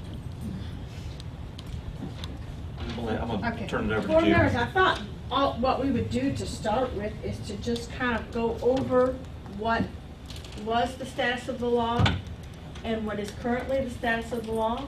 And then um, we can take any particular questions that are of a legal nature in closed session, if there are any. If there aren't, we don't need to do that. But if you had questions that you'd like to ask that had legal implications, it seems that a closed session would be appropriate at that juncture. Because it seems that you have some people in the audience who are interested in the topic and I wouldn't want them to have to stay through your whole meeting, but that's totally up to you, and that is why the meeting was structured that way. So if we could, um, oh, I'd love to kill that light. I'll just try to stand still, which, as you know, for me is a challenge. Um, Prior to this most recent legislature, and if I look like I'm freezing, it's because I am, Bill has Thank managed you. once again to freeze me out of this room. Um, and all the guys are going, that's great. Um, so anyway, the status of the law up until this July was that you had a system of employment for professional employees, and by professional employees, in years past, they used to be called certified employees, now they're called licensed employees. So people who have a professional license to educate uh, were employed under a, a sort of three-tiered system. The first tier was people who were not permanently employed, they were interim employees, and those people were employed on more or less an at-will basis. In other words, they came in in November to fill a, a brief period of time, and they operated on an, an at-will contract or an at-will status, which means that they served at your pleasure. And when you were done needing their services, they had no expectation of continued employment. The next group of employee, professional career, or professional employees we're talking about, licensed employees, were contract employees. Pro, we called them probationary employees. And the group of prob- probationary educators served a period of time designated by the statute, and for some people it was one year because they'd had career status either in another system or previously with your system. And for other people, it was up to four years under this um, contract status. And during that period of time, they were employed on a series of one-year contracts. During the length of those contracts, they could be terminated or demoted or reduced to part-time employment for a list of 15 reasons that existed in what we call, we used to call the Tenure Act, but it's changed names a whole bunch of times. Uh, but basically, 115 C325 was the statute that um, was involved. And so during the term of the contract, those probationary teachers, as we used to call them, could be, it could be at the end of their contract, non-renewed, and you'll remember we always had fun every May or June when we went through the list of the number of teachers that were eligible for renewing their contract. And then there would occasionally be someone that the superintendent was not recommending that their contract be renewed. And that was a series of, of, of provisions in that way. Now, the statutes provided um, protections during the term of the contract for those people, but in the non-renewal period, as long as the non-renewal was for a legal reason, in other words, it wasn't discriminatory, biased, arbitrary, for prejudicial reasons, as long as it was a legal reason, then you, as the employer, could choose not to renew that contract. The final group of licensed employees were career employees. Career employees have worked for you for a period of time under a set of rules. So you said to career employees, we expect you to perform under our policies and our expectations. We expect you to perform well. We evaluate you on a series of, of times during the year using usually at least your principal on, on several occasions, sometimes other administrators, sometimes other evaluators. Sometimes if there was a concern or an interest in a particular area, a particular curricular specialist might do the evaluation. So you could have a series of people measuring the performance of that particular teacher. And if at the end of their probationary period, the board felt that their performance was, was such that you wanted to engage them in a career relationship, you took a vote. Once again, May or June, kind of our, one of our longer meetings, if you'll recall, you took a vote and awarded them what is known as career status. Career status entitled them to several things. First, to due process of law. So, you remember we talked about the Constitution. We love the Constitution, the United States Constitution. It's a very important document to educators and to anyone who um, is interested in civic responsibility. And the Constitution gives you rights in three things, and, and, and those are life, liberty, and property. Well, once you have awarded somebody career status, you have given them a property right. It's the same thing as giving them a car, or a piece of real estate, or a bank account. It is a property right. So they now have a property right in their career status. Similarly, they have a liberty right. And that's a little fuzzier for you to understand, I understand, but a liberty right to continue to work in that relationship that you have established. Interestingly, you also have a contract interest in that right to career status. And so, where this gets a little fuzzy is that in July of 2014, this current legislature eliminated the concept of career status, which they are legally entitled to do.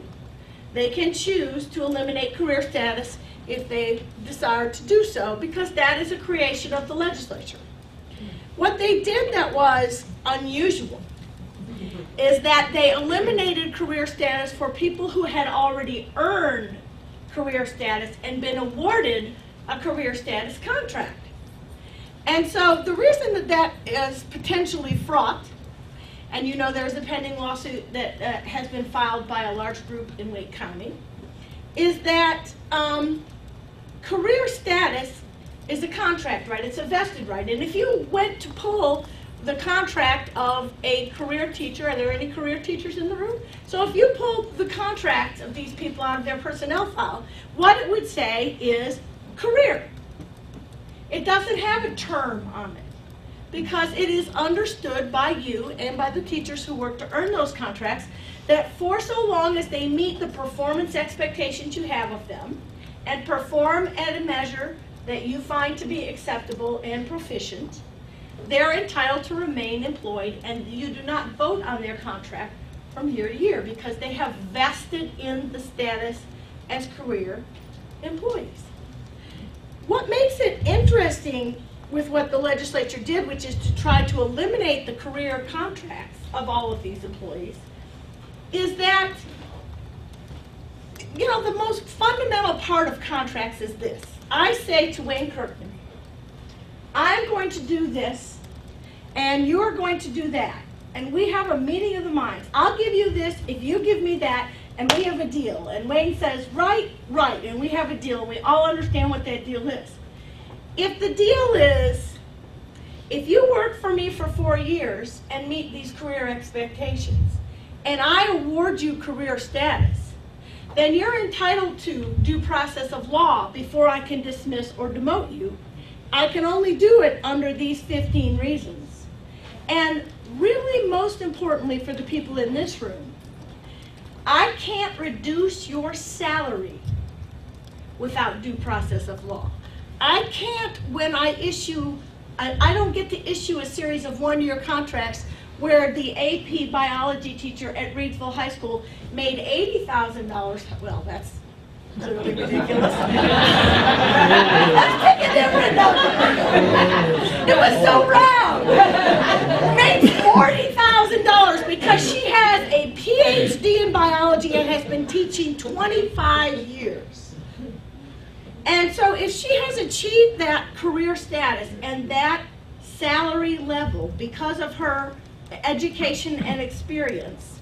Under the tenure laws, you cannot decrease her salary without due process of law, without a justifiable reason to decrease her salary. If, however, we take that vested right away from that teacher, every time we issue her a new contract, we can pay her whatever we want. Because she no longer has that property right to an expectation under a salary.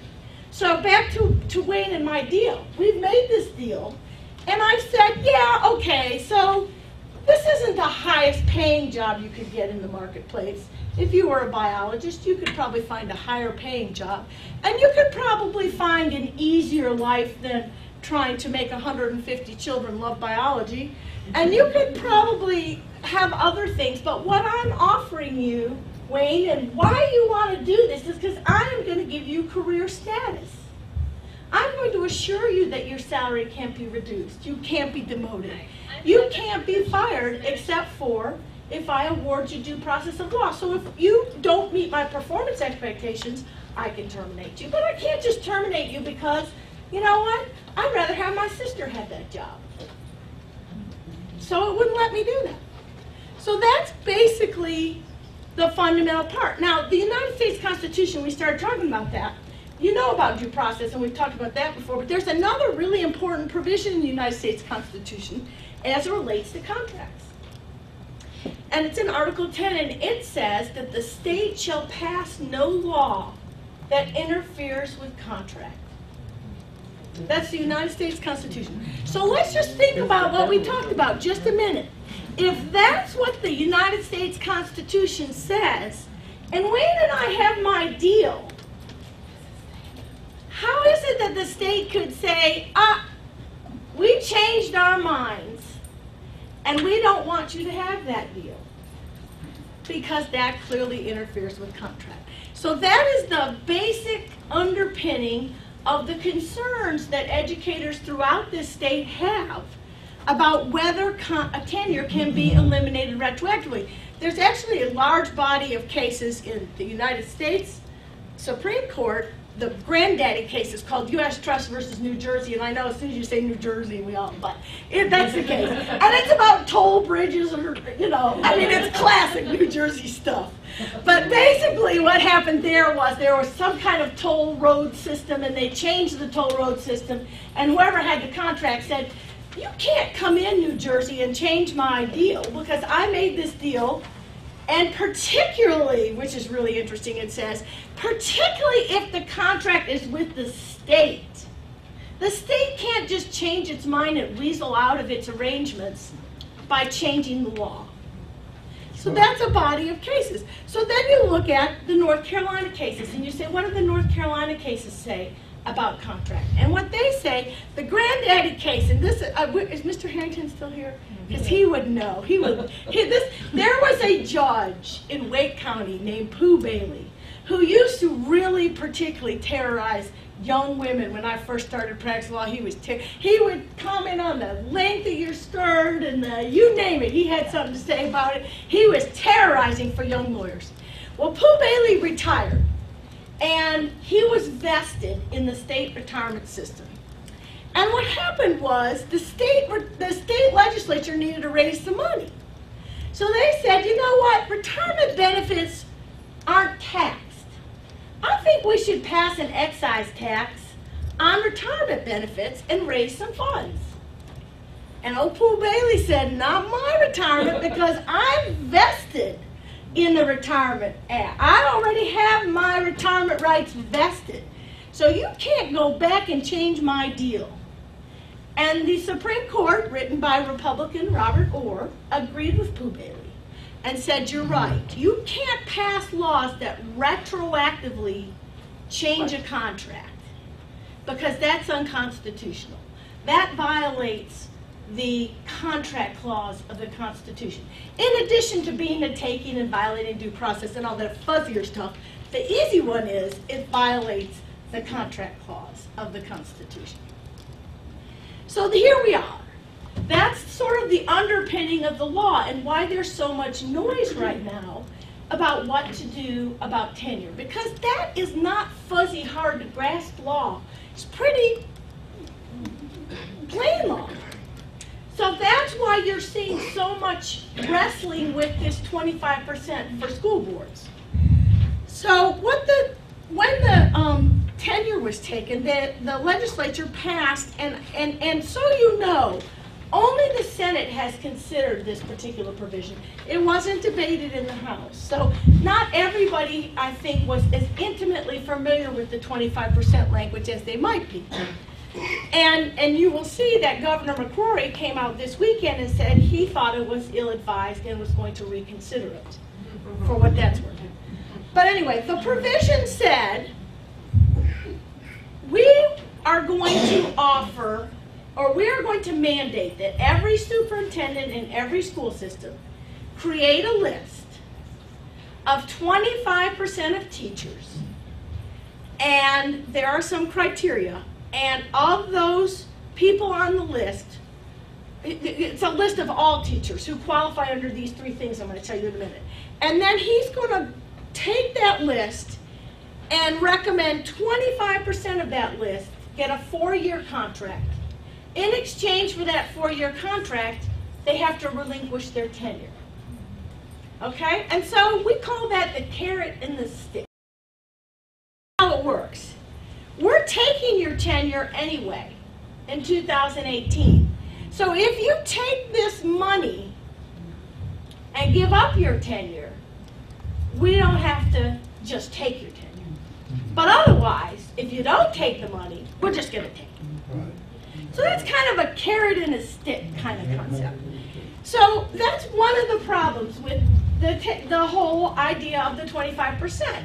Then there are two other really big whopping problems besides the whole uh, the concern about how can you even take tenure. First of all, how, what is the teacher? So I'm I'm my AP biology teacher making almost eighty thousand dollars, and I'm, I'm saying to myself, well, you know, so what am I going to get? The statute says you're going to get five hundred dollars a year for each year of a four-year contract through 2018, because tenure gets eliminated in 2018. So years of experience and as long as they are at least proficient, recommend 25% of them. Seems simple. Problems with almost every word that I just said. First of all, the definition of teacher, there is no definition of teacher there in the statute, but in both 325 and the new one, 325.1, that's the new one that replaces the Career uh, Employees Act, the definition of teacher is way broader than classroom teacher.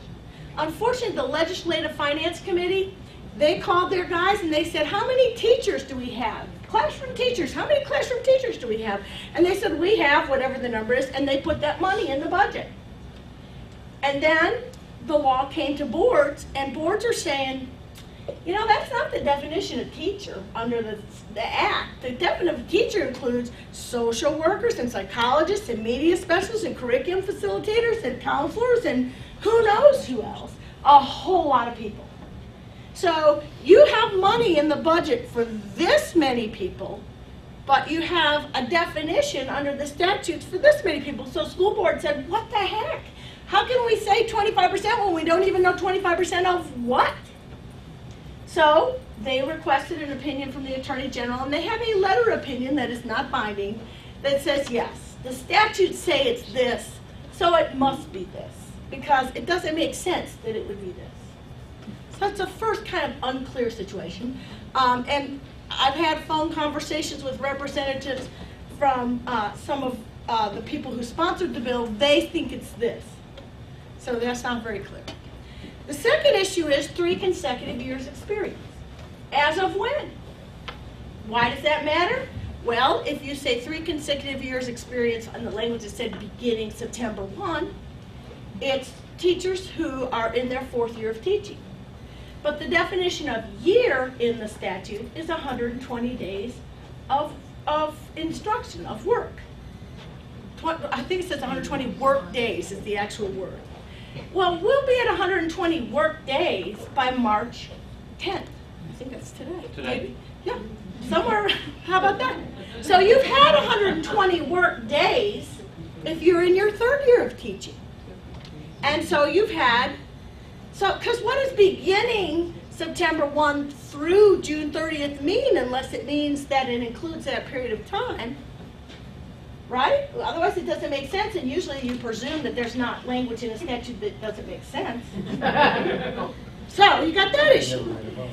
Then, then the, the other kind of confusing issue is it says, well, there's lots of other problems with interpreting what it means in the statute. But the difference in how you can define just those terms we've talked about just in Guilford County, because you might hear I'm kind of familiar with the numbers there at this point. Um, the difference is in the most restrictive definition that the legislature believed that they were doing, it's 3,300 teachers. In the broader definition that the school board association, I mean, that the attorney general believes it is, it's 4,300 teachers. So you're talking about a, a list that could be 1,000 teachers different, depending on what you think it means. And that means then the contract's being offered to 250 people more than someone thinks that list means. So it's not like some silly, trivial little thing. That's a pretty big thing. Then we get to 25%.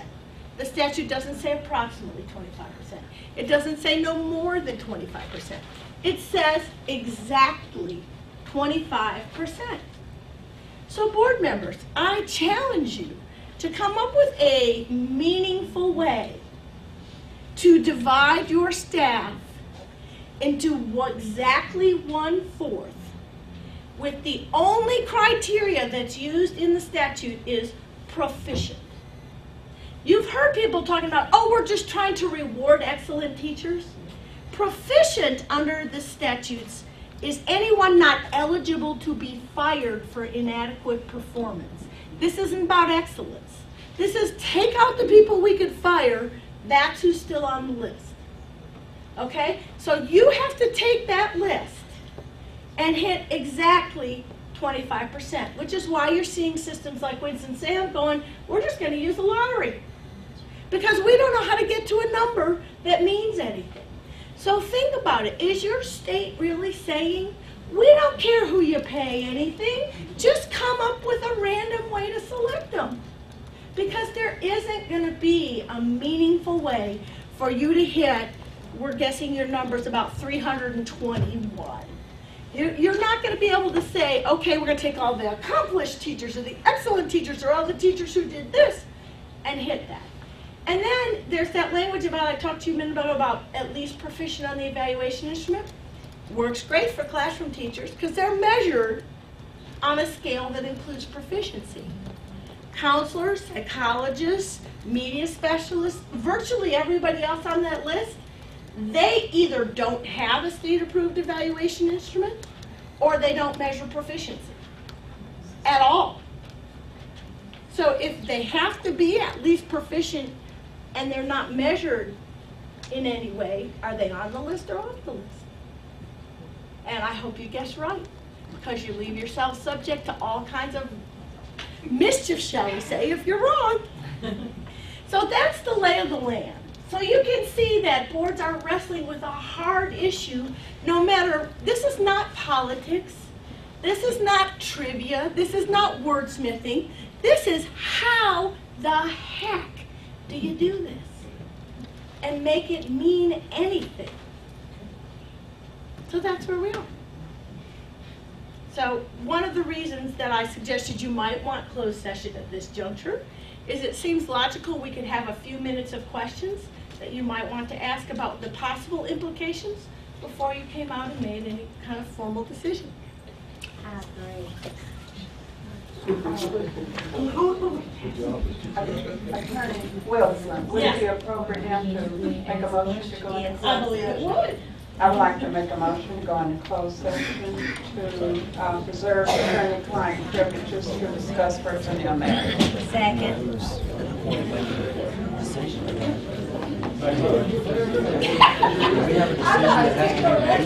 Received only one point one two percent state salary increase once out of the past five years. resulting in a greater need by school districts to increase recruitment and retention of teachers.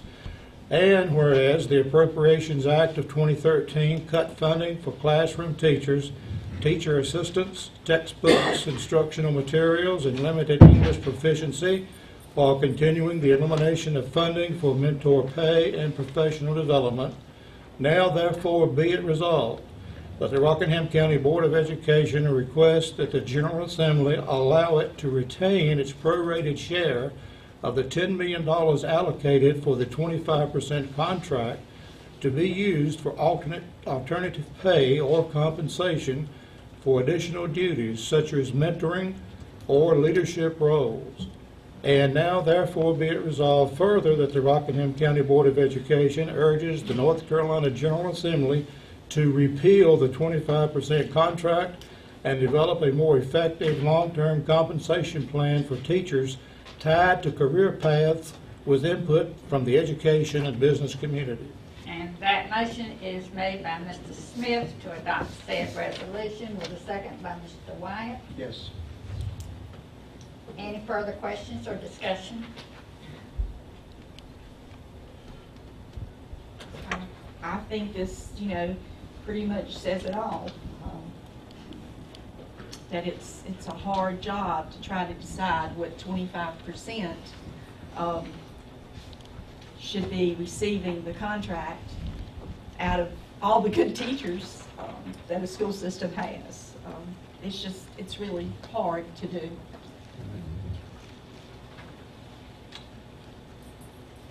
Any other comments? We'll start with Mr. Price. Yes. Yes. Yes. Yes. Yes. Yes. Yes. Yes. Yes. Yes. And that is unanimous. Madam Chair, I think it'd be good to call our teachers. That's all you.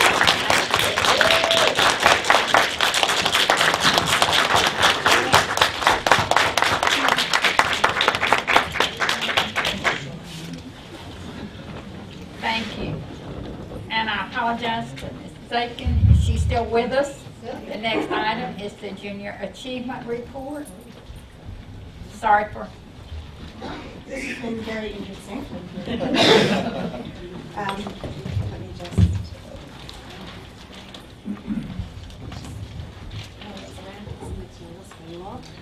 Um, Do we have enough for the press? I believe so. Okay. So I just want to introduce myself. My name is Hillary Zakin, and I'm the Development Manager for Junior Achievement of Central North Carolina.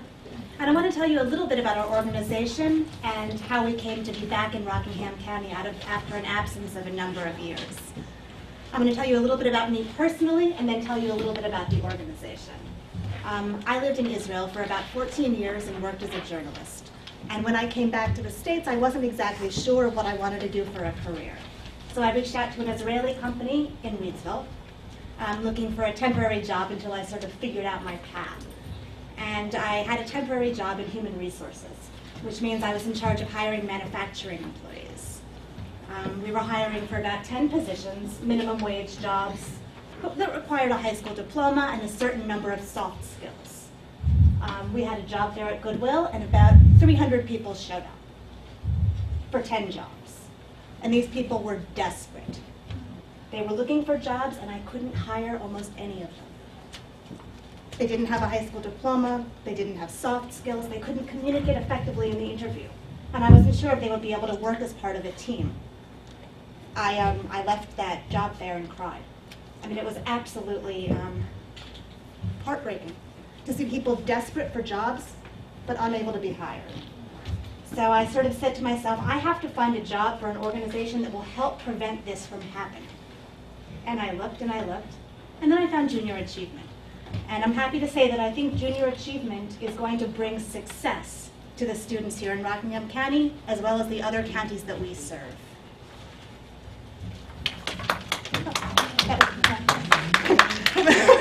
There's more.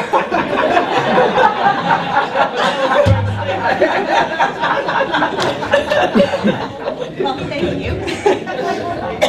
um, Junior Achievement is an international nonprofit. Our chapter is based in Greensboro, and we serve six counties, Guilford, Alamance, Rockingham, Forsyth, Montgomery, and Randolph.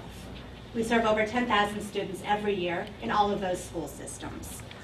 We are dedicated to giving young people the knowledge and skills they need to own their own economic success, plan for the future, and make smart academic and economic choices, which I think fits very well with the Rockingham County school system's empowering all students to compete globally.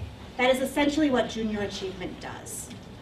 All of our programs are delivered by volunteers in the classroom during the school day, kindergarten through 12th grade, with age-appropriate materials and experiential learning to help kids connect classroom learning to real life. A lot of kids don't know why they have to learn things. They'll ask, why do I have to learn my multiplication tables? So if a volunteer comes in and says, well, I run a restaurant down the street. Do you want to run a restaurant someday? If you do, you have to learn your multiplication tables because if you don't know them, you won't be able to calculate your profits and your losses. You won't know what your inventory is. So by connecting classroom lessons to real life, the Junior Achievement Volunteer can help inspire these kids to think outside the box of their everyday classroom learning. All of our programs focus on financial literacy, work readiness, and entrepreneurship. And we are very excited to be back in Rockingham County. Um, I had my first meeting here in the middle of September, and I said, we're going to have at least 25 classes this first year, and I'm pleased to say we're up to 27 for this school year. We have 24 classes this spring. I can tell you there are two kindergarten classes, seven first grade, seven second grade, five fourth grade, one middle school, and two high school classes right now across the county. And we're really happy that Dr. Shotwell has approved of our programs and let us come into the schools because we really believe we can help students here succeed even further. So unless you have any questions, um, I think I'll leave it at that. But just one more thing. Um, test scores improve after students have junior achievement because they can understand the connection between classroom learning and the real life applications. High school graduation rates increase. The, what is the graduation rate here? 80%? Right in. So there was a study done by an external evaluator looking at junior achievement that after two or more classes in, in sequence, students will have a 93% graduation rate. So having a tool like that in the toolbox for the school system here, as well as for economic developers who want to attract companies here and have a prepared workforce, um, we think we can help. And we're really excited, and I'm excited, obviously, that we're here. They may have some questions though. Yeah, if anyone has any questions. I saw you at a meeting and I just had to have you come tell us. Well, thank you. Thank you so much. I mean, we, I really think this program can make a difference. You know, students hear their teachers every day, but when a, when a volunteer from the community comes in to share something about their own experience, it's a way to bring together the schools and the business community in a really unique way that can help inspire kids. Something different. Thank you. Thank you very much. And if you have any questions, you all um, can feel free to get in touch with me. Thank you. Thank you. Thank you. Next item, Mr. Sharp, thank you for waiting too.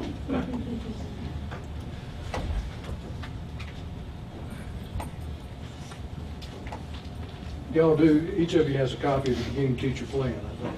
Uh, It, uh, it basically, these paragraphs are responses to questions in the state board manual.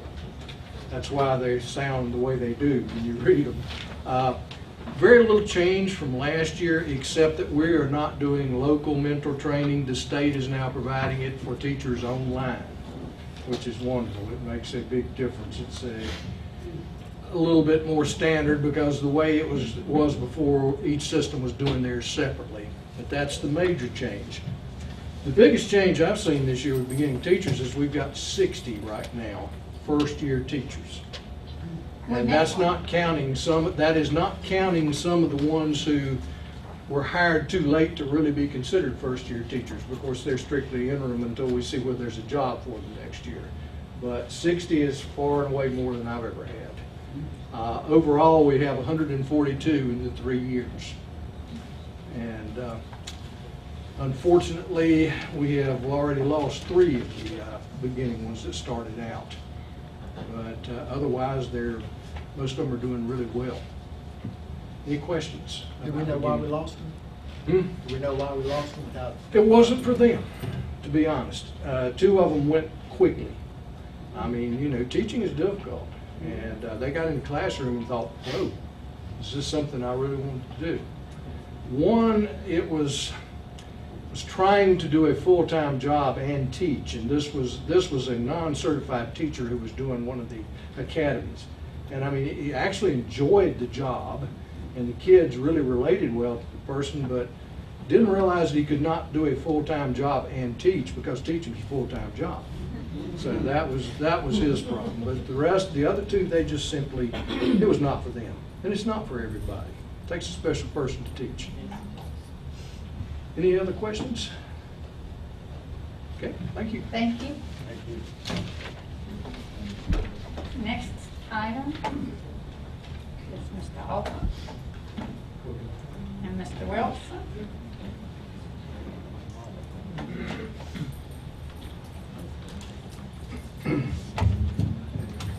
Madam Chair, members of the board, Dr. Shotwell, good evening. Uh, I sent you some information in your packet pertaining to uh, lighting of uh, athletic fields in the county. I think as most of you know, over the last uh, four years, we've, we've gotten a little behind on addressing some of our needs um, with athletic fields, with, uh, as we've been building softball fields, and uh, expended quite a bit of money from our capital budget, um, which was fine. But uh, I did share some information with you about the numerous athletic fields that we that have outdated lighting fixtures mounted on wooden poles, and they range in age from 15 to 35 years old. Actually, some of those poles were used poles when they were placed, and uh, we haven't been able to actually determine how old they were before they went in, but we do know that they range from 15 to 35 years old. And as I shared with you, uh, we have become increasingly concerned over the, condi- over the condition of these wooden poles. There are numerous cracks and bird holes in many of them, along with continued twisting of poles themselves. And when poles continue to twist, we'll continue having to call in outside contractors to re-aim the fixtures and the lighting, because when they twist, the whole thing twists, and so our foot candles on the field become reduced. And so we have to keep moving them around. And I don't know how these things can keep twisting when they're that old, but somehow they do. Um, if we if we were able to to look at new light fixtures, and that's what this plan is trying to outline for you, uh, this will increase the light levels on the fields while decreasing the cost in electricity usage. Now, I did I did attach a memo to your proposal to the to, to this cover letter from Musco Lighting, which is the premier lighting company in um, in the country, actually. Uh, and it's also recognized by the North Carolina High School Athletic Association uh, in their endowment committee. But the uh, we'll be what we're proposing to do is replace these wooden poles with new steel poles. And this new steel poles, if you go out and take a look at the softball fields, uh, you can you can see these uh, in place. Now these will be a little larger because they'll be a little taller, but they will meet the uh, wind speed uh, code that, that's 90 miles an hour now, which I'm sure those wooden poles do not meet. And um, they'll just it'll just make things. We'll we'll feel better about them, especially uh, uh, from a safety factor. Um, this project will bring all of our wooden pole fields up to the lighting standards found at the newly constructed uh, softball fields. And that's, that's kind of, if you go look at the new softball fields and they're playing now at night, you can see how well lit it is, uh, how nice it looks, and we do not have that type of lighting on the fields where we have the wooden poles. Uh, the proposal also outlines a payment plan for achieving the end product. We feel we're having an immediate need, and this is a way to address the need as 2014 pricing as opposed to a multi-year phasing plan which increases cost and escalates the declining condition of the poles waiting to be addressed. we do have two, two schools, and I mentioned that, where they have concrete poles already uh, in place. That's a regional high school football field. These uh, poles are 32 years old. They're Stress Creek poles. That's a, that's a brand name. And also, we have some 23-year-old poles at Michael uh, High School football and baseball field. And what we're doing with those uh, poles, we're having an outside testing agency come in, kind of like we did at the swimming pool when we tested the T-beams and to determine the condition of those T-beams in the pool. they'll, they'll, they'll determine the condition of the poles, uh, of the StressCrete concrete poles. StressCrete was a good pole at the time. It's probably not today, but, uh, then they will help us, I guess, come up with a remaining life expectancy, so to speak, on, on these concrete poles. But right now, we don't feel as, we're not as worried about the concrete poles as we are the, the wooden poles.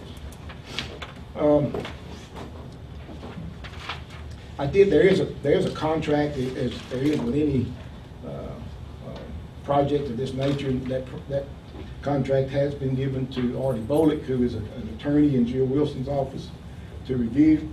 And tonight, I'm not asking, this is just information for you. We don't have the two meetings a month like we used to, so this is just for information tonight.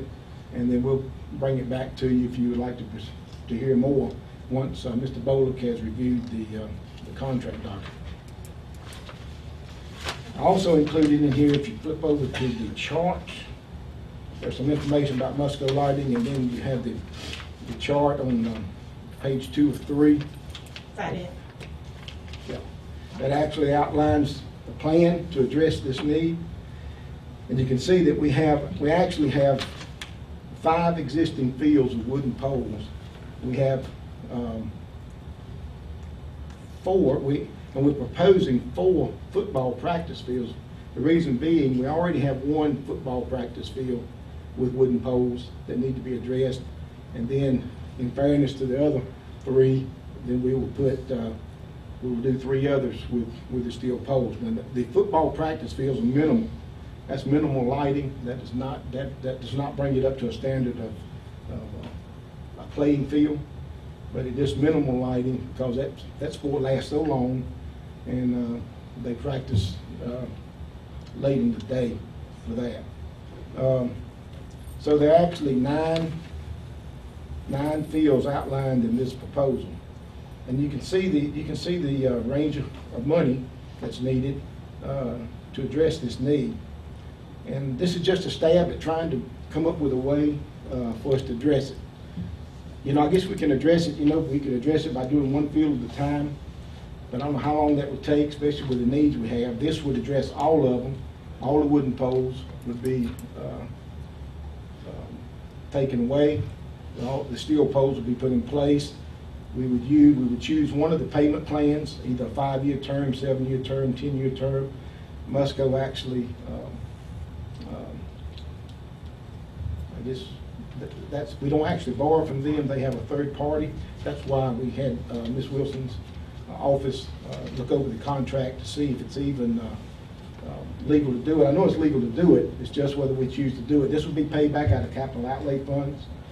And you can see it ranges from anywhere from a payment of uh, 292,000 for five years, 221,000 a year for seven, 169 for 10, 15 for, for um, 119. Most of the school districts that have done this are- in the um, seven to 10-year term payback. It's just, it's just, it's just a way, just something we're trying to, to define, a way we're trying to find to address this need. Um, If you go out and take a look at some of the wooden poles, you'll be about as concerned as we are.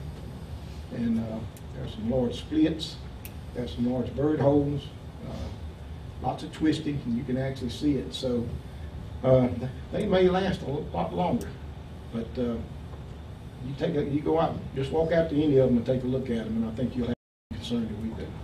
Let me ask any questions. Yes, ma'am. Yes, sir. Um, first, I want to make sure, we're looking at before the, if you went and done it right now, it costs us a million, three hundred, three thousand dollars. That's correct. Yes, sir. Okay. The second question I've got is, what kind of savings, if you mentioned the, the, using the new, upgrading the lights would cost less, what kind of savings are we looking Well, at? it was at least twenty-five percent, yeah, less. Less electricity. Less electricity with with the new lighting. And we'll also have, we'll also, not only will it be new lighting, but it'll be new brackets and all, and these, these poles will not twist. Brighter lighting. Brighter lighting, they'll be, they'll be up to the standards. The foot, the softball fields are all at the standards that North Carolina High School Athletic Association recommends, and a little brighter actually, and these fields will be the same way.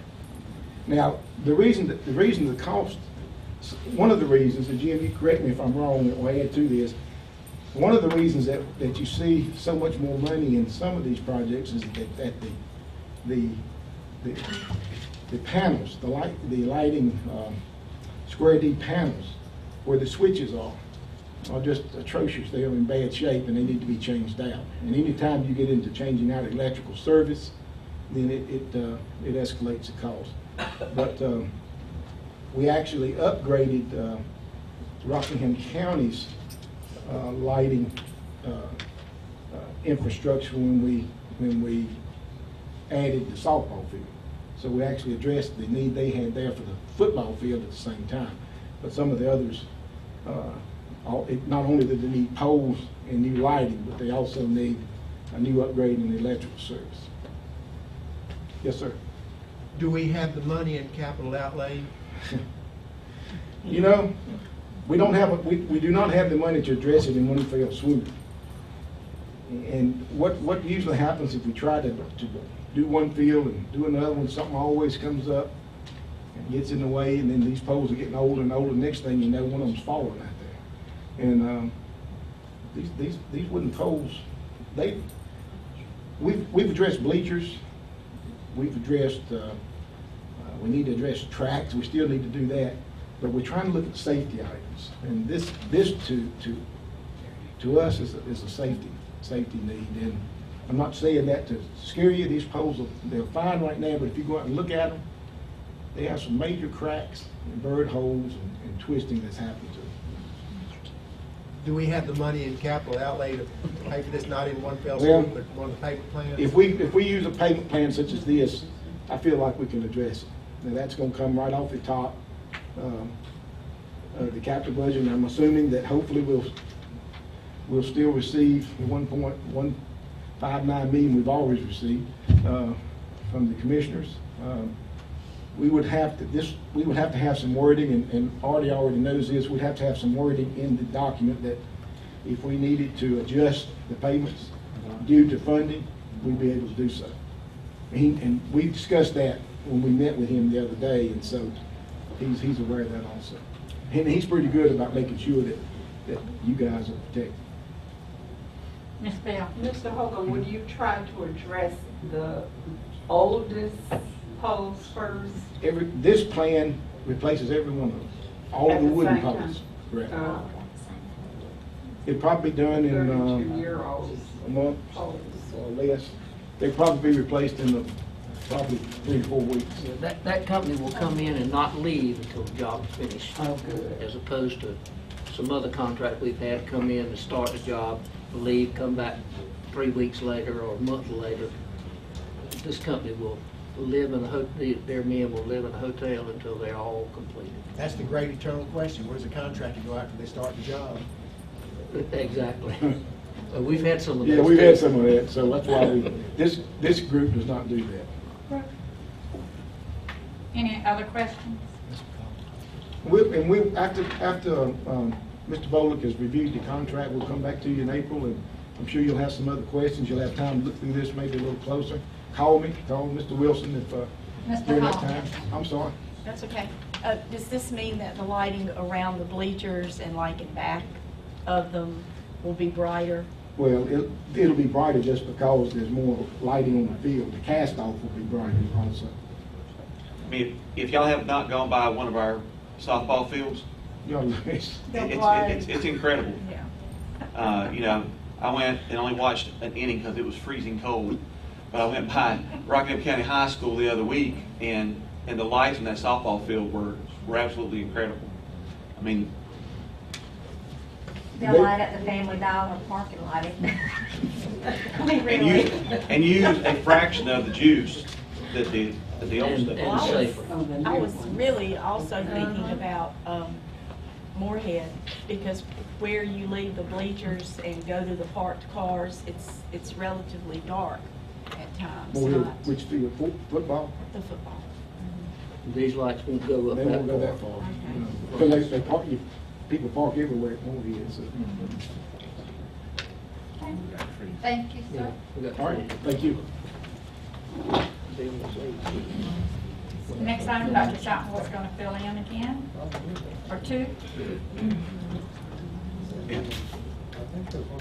Um, With the uh, copiers, what we've done, even though Toshiba has a state contract with the state of North Carolina uh, already, it's already been approved by, at the, at the state level, we still have put out some RFPs for uh, them and also for uh, our local vendors on copiers to, uh, to see. What we're really trying to do is that we've got contracts here and there, we've got a variety of different um, levels of copiers at the different schools and different, um, different functions that some of them can do based on what they can afford. And what we're really looking for is looking for a, a, a program that would address all the schools equally. And it really would be based on a per copy basis and not by the machine um, and things. And so we just wanted to bring that, we're not bringing it to you for an approval tonight or anything like that. We just want to make you aware of it, that that's, that we're in the process. And we'll probably bring something to you um, in April or May with this. This is, we're, we're only talking about copiers here. Um, We're not talking about the, uh, some of the furniture that we buy from our local vendors, the supplies, office supplies we buy from our local vendors. We're not talking about any of that stuff. We're only talking about copiers. And that's why we opened it up and gave everybody an opportunity to, uh, to have a chance to look at there. Because the savings that you have, uh, having it consolidated is, is pretty significant. And A so. This is a lease. it's a per copy basis. Oh. So, you know, if, a- if a machine breaks down, somebody's coming out there that day, and if they can't fix it, they got another machine on the truck, they bring it in, and they take that one back. Is it a lease? uh, You would lease them? Or buy. No, it's, it's, it's it's not ours. I mean, it's just a, uh, it, it is a lease, yes, ma'am, sorry. And, and that's part of the difference, because some of our schools have bought the devices, some of them haven't, and, uh, That's the lease, it's cheaper. and this is something that we've actually been trying to, to look at for, for several years, and we, uh, we're trying to bring it through this year. That's what we did. Next item Yes, It is the me too. Revised budget calendar. Yeah, it was just, it was one slight uh, change to this because of the weather. Uh, We need a little bit more time. We're going to give you a draft of the uh, budgets to you guys at the mesh board training. And let That's you have that at the end of the month. Okay. So it'll be the 31st. So we'll be mailing it to you. Okay. And then pretty much everything else stays in line where we had it before. And again, a lot of this stuff, we're talking about um, roughly 15 to 17 percent of our budget is really what, what we have some flexibility with. And we're just going to take a guess based on what we've received this past year. Because right now, there are no planning allotments that have been issued. I should know something more. We're having a quarterly superintendent's meeting on Wednesday. And so we'll know uh, one way or the other, but I have a feeling they're not going to have any, any uh, planning allotments for us to go out. And the short session doesn't start until May. If it's a true short session and it's done before July, it's still kind of a guesstimate and projections based on what do we have this year compared to next. And there's a few variables that we'll include in there too. Okay, the next item, can we go? Uh, Dr. Perkins, we can say your name tonight. Thank you. Congratulations. Yeah, thank you. I appreciate Defended a week ago. Know. Now I can be a mom and a wife and a professional and do things I want to do. Okay. Um, thank you for having me again tonight, and Dr. Schott will also uh, chime in. This is just a Read to Achieve update. If you want to go through, I, I can just use this for my notes and Okay. one slide. You can do that one slide at a time. Okay. Okay. So basically, this is just an overview. Um, we didn't get to in the fall, I kind of shared with you all the law. There have been quite a few changes since then um, in implementation at the state level and also some flexibility that our district has been given. So this is just to provide an overview. There are seven components. Um, go ahead to the next one. There are seven components that I just want to give you a quick overview of where we are. The first component of the law um, is the comprehensive plan for reading achievement. And basically in the law, or the implementation guide that we were given at the district level, DPI shared with us what is our LEA responsibility. So for component one is to distribute and communicate the plan to each school, offer LEA level support, and follow up professional development on reading strategies. So at this point, for component one, we have distributed the comprehensive um, reading plan to our K-5 elementary uh, principals.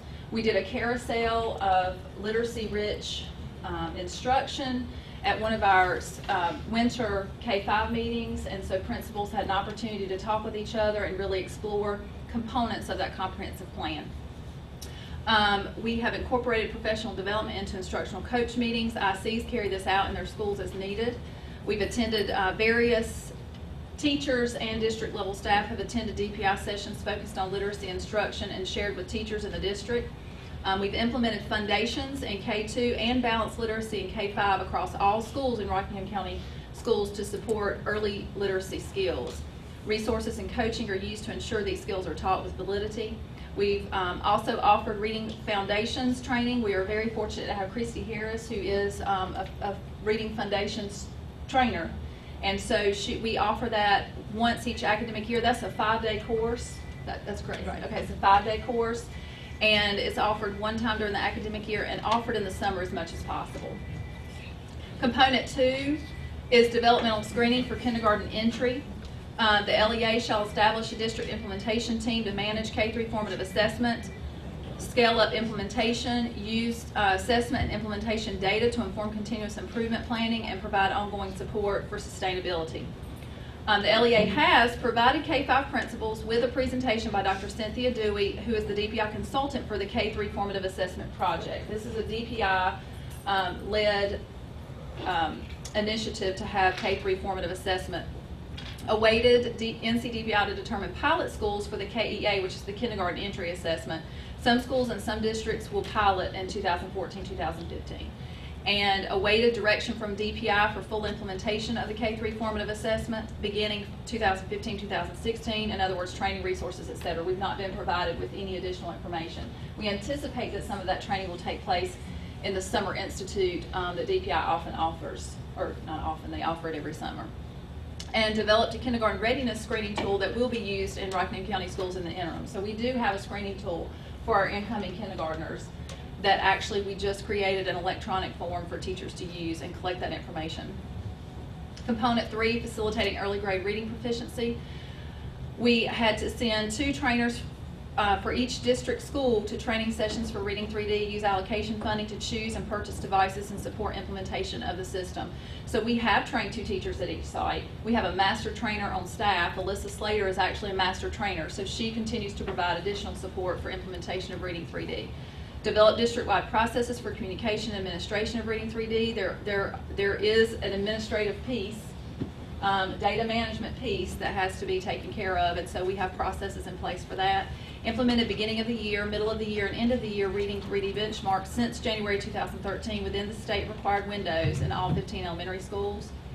Used uh, DPI's recommendation for progress monitoring frequency as a guide to meet students' needs between benchmark windows implementate, excuse me, implemented reading 3D assessment in Title I schools for the lowest 20% of fourth and fifth graders. Some Title I schools actually assess all fourth and fifth graders, so they can really target what their instructional needs are using that assessment data.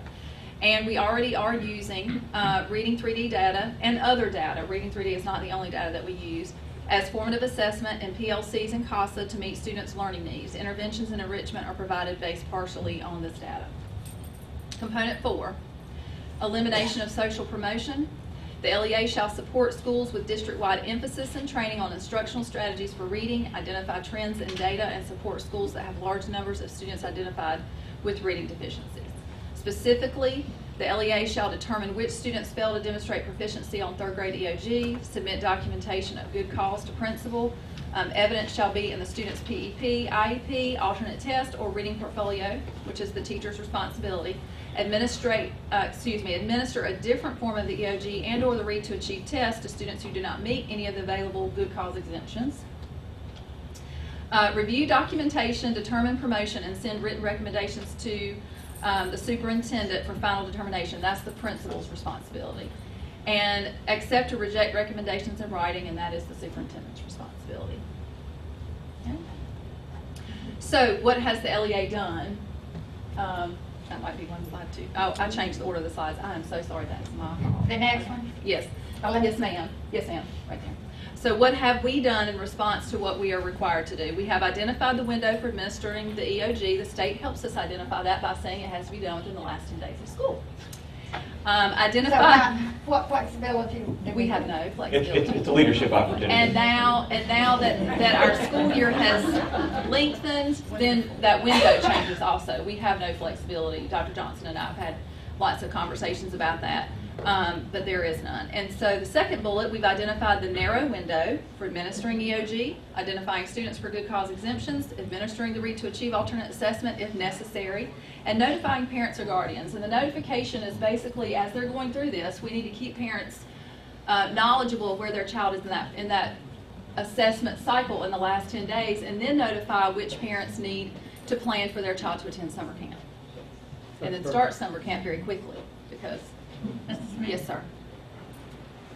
I remember when you came before, it was very confusing to me, and I'm, I'm easily confused anyway.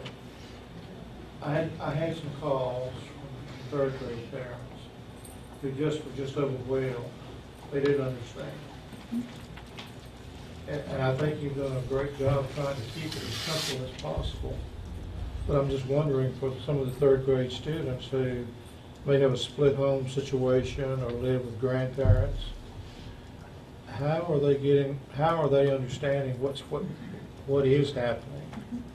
And I do have a slide in here to, to, to address that, but just in the meantime, every, uh, teachers, uh, third grade teachers are meeting with every single parent or guardian during the month of March. They have talking points that they are gonna sit down one-on-one. Now, they've all, all had a lot of group meetings already, and some schools have already started the individual conferences prior to the committee, um, you know, emphasizing the importance of that.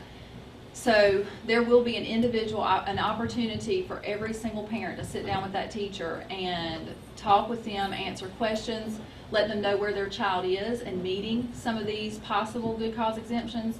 And the next slide kind of is a little bit better in explaining this than I've done to this point, but we, every child eligible to take the end of grade test, we want them to do their best. You know, our hope and, and, and, you know, confidence in them doing their very best is high, okay? So these good cause exemptions only apply if students don't meet the proficiency standard that's been set for that particular assessment. Okay, so they don't have to worry about meeting all these criteria and take the end of grade test. But the end of grade test, we want every child to take and do their best. If they don't meet that proficiency, then there are other options that we would like students to be offered to demonstrate that they are reading proficiently. You're welcome. Okay. So examine, uh, another thing that we've done to this point is examine BOG data, and I apologize because I the year. eat, sleep, and breathe these acronyms. Grade, yes, grade three, uh, assessment. They took that in reading. Monitored reading 3D reading levels and DIBELS progress at BOY and MOY. BOY is beginning of year, MOY is middle of year. Again, I apologize. Examine the percentage of students at middle of the year who meet the end of year benchmark. So Dr. Johnson and I have been analyzing some data looking at, okay, who are those students that at middle of the year, we just finished that benchmark, that are already, have already met the end of year um, cut for demonstrating proficiency in reading 3D. And we have about 37% of our students who already meet the end of year criteria and/or meet the beginning of grade score um, that would give them a good cause exemption should they not pass the end of grade test. Okay. Our first goal is that they pass the end of grade test. That's what we'd like to see. Okay. Um, created a plan for developing an electronic database. Teachers can document good cause exemptions for a student who may qualify. Provided uh, direction for principals, teachers, and parents in options students have for good cause exemptions. And that is um, one thing, and this is probably going to, I want to make sure that um, you guys have an opportunity to answer questions about this. Um, Ms. Rose, if you don't mind going back up to the screen before and click on this, this link right here, please. and you guys have this in your board packet, so if you want to spend some more time, and then if after you spend some more time with it, you have any questions um, for me, feel free to ask. She's in third grade. You need to have her tested. It, it is, you do have to be in Google, but you should be able to access it. Okay. Uh, basically, we tried to create a flow chart to assist, um, as, as the question was earlier, how are we helping parents understand? Well, it is complicated. I mean, it's, it is complicated. But basically, if the child is eligible to take the end of grade test, excuse me, is your, is the child eligible to take the end of grade test? If the answer is no, in other words, they take NC Extend 2 or NC Extend 1. If they take either one of those, they already meet a good cause exemption. Those students are meeting a requirement um, of an alternative assessment. If they aren't eligible to take the regular administration, um, if they scored a 442 or higher on the BOG, then they've actually already met a good cause exemption. Now, we don't want those students just saying, oh, okay, I'm done for. You know, I just, I'll show up every day, and but that's about all I'm going to do. We really continue to let parents know they still need to do their very best on the end of grade test because our growth is measured that way. They're, they are compared end of year and beginning of year, and the growth is measured by that comparison. So those students need to continue, you know, working hard, which I know they are, and do their very best. So if, yes, sir. That, that's the flow chart that you sent home, wasn't it? Oh, yeah. Uh, yes, sir. Twice. Yeah, unfortunately, I don't know if any because, of you saw it, I, I got, it was on Facebook, someone photo, photo snapped or whatever you call it, and put that on Facebook. And they said, if anyone has a, can understand this, help me explain it to my child. I got, I thought, well, where they get it, but is, is there any way, and I'm we not wouldn't trying. give this to a child, I mean, that's not. Uh-huh. Sorry. But, but to a parent who has minimal education, uh, and a grandparent who is 60, 70 years old, is there any way to make that any simpler? I mean, to, I, I am open for suggestions. Yeah, I mean- I really am. the two creators are here. Uh, you know, I, I had i- input on this too because I mean it's a lot of information, and we were trying to make it. And our teachers, I think It- it it's goes back easy to to see this, it. that was the biggest recommendation from the committee was, we need to sit down with parents individually. Yeah. And I know some teachers are taking this and actually inserting information specific to that child. So the parent knows where their child is and where, you know, again, these good cause exemptions past the EOG only apply if the student doesn't pass it. So we just want to know, we want parents to under, understand their options, which again is why they're meeting individually with parents. and you, you, I remember, I remember what you went through with the report card, and you greatly improved the interpretation of it. And I'm just looking at that, and it, it, if you're not into it every day, it is, because I, when I first saw it on Facebook, I thought, "What- is this? You know, is this organizational chart? But, you know, the comments were not supportive. The comments were, were of concern, I just did not under, get it. And I, and I looked at it and I didn't get it. And, uh, I don't know, I, you're the educational mind, is there any way to make it any simpler? I'm very why I open didn't go into elementary education. Is it out of line to speak from, I'll let, Yes, ma'am. may I speak? Ms. Tony teaches at Bethany, she's Yes, a third grade please. teacher at Bethany. And third grade mama. Um, Mr. Smith, third grade, te- Mrs. Perkins has, um, given us the documents and things just in the past, well, working days, probably five or six, not counting snow. And third grade teachers are in the process of developing the conversation pieces that we will have with parents. Our new requirements, as Ms. Perkins just said, was, um, that third grade parents, teachers will speak with all third grade parents individually. At my particular school, and I'll be happy to share this, over the weekend, I developed a new, a, a flow chart that is a little bit easier to read just in the fact that some parts are taken out as they pertain to particular students.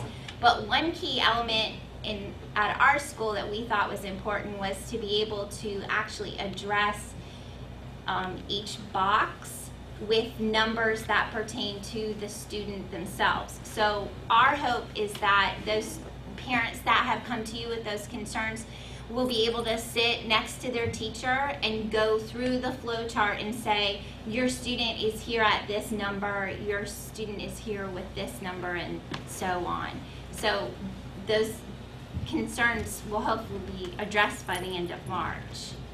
No more weather in the picture.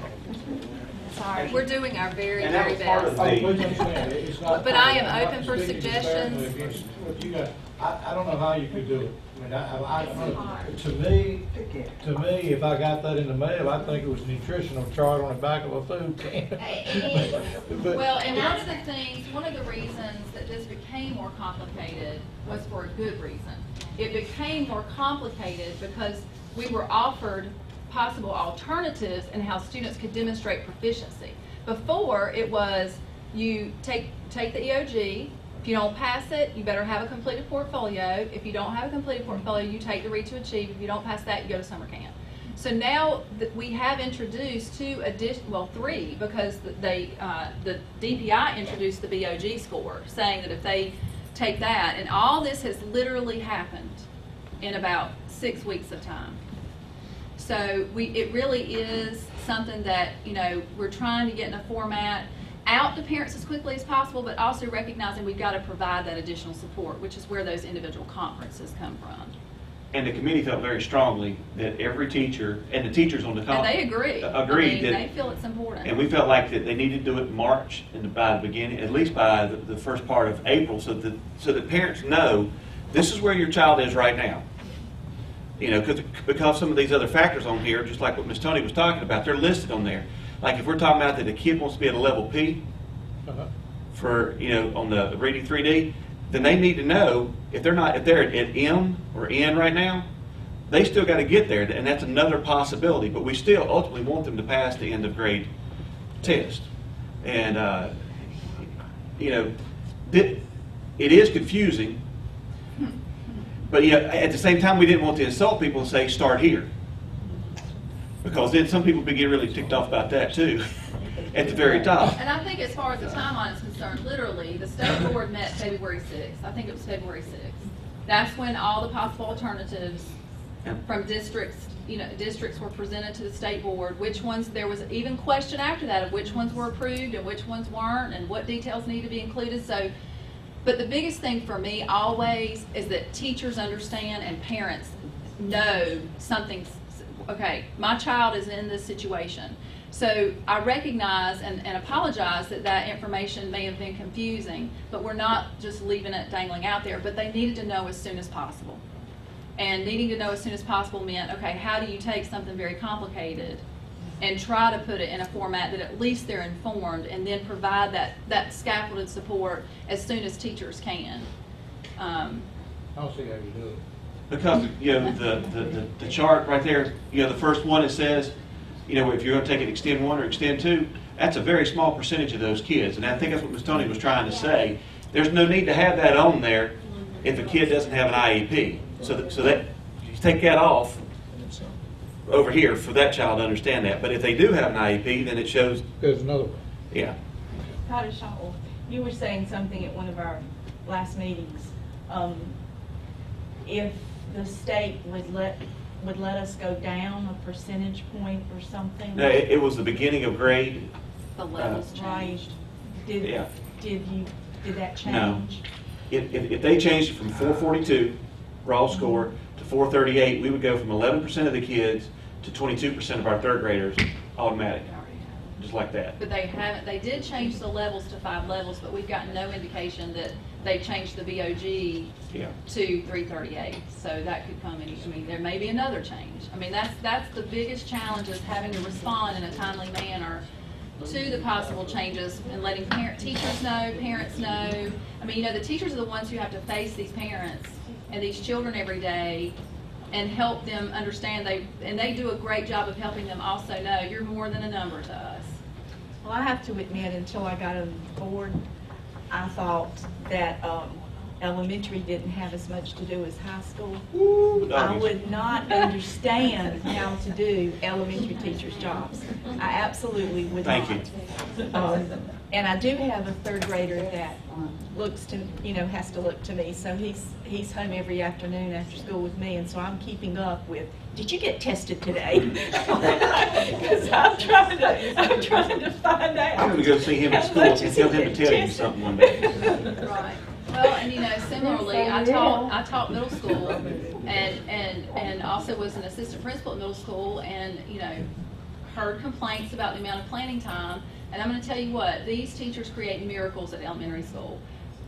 But I won't get on that pedestal today, but they Well, do, they I create wanted- miracles. I wanted to ask, I read something in the newspaper about Guilford County and the third grade, and I may have misunderstood it because I don't understand, you know, all, of all of this elementary stuff quite as well. But I thought they were able to present a program from a company to the state um, Department of Public Instruction, and they approved it, and it didn't have nearly as much testing in it. Was it That was what I got from the article. No, we actually, okay, so what was introduced as options, as a possible alternatives for districts to consider, mm-hmm. did not eliminate the portfolio as an option. We had teachers, we got feedback on this, we had principals and teachers who felt like there are some students we still want that to be an option for, that it's appropriate for. So that's why we did not take that out. That was, that was some, a great deal of feedback. Now, one of the options that some districts submitted were like benchmark assessments, quarterly assessments. We don't currently do quarterly assessments. Now, we do have case twenty-one, but we're not, actually, our third grade was not doing the reading in the, in the spring because of what was going on with portfolio. We had already made that decision. They are not going to take a benchmark in the spring. So what we've chosen, students already do. They already do reading three D. Uh, teachers are selecting students who they feel the portfolio is appropriate for, and really, all of our students were doing the portfolio because we didn't think they had any other options, but some students have stopped because they're not being successful in the portfolio.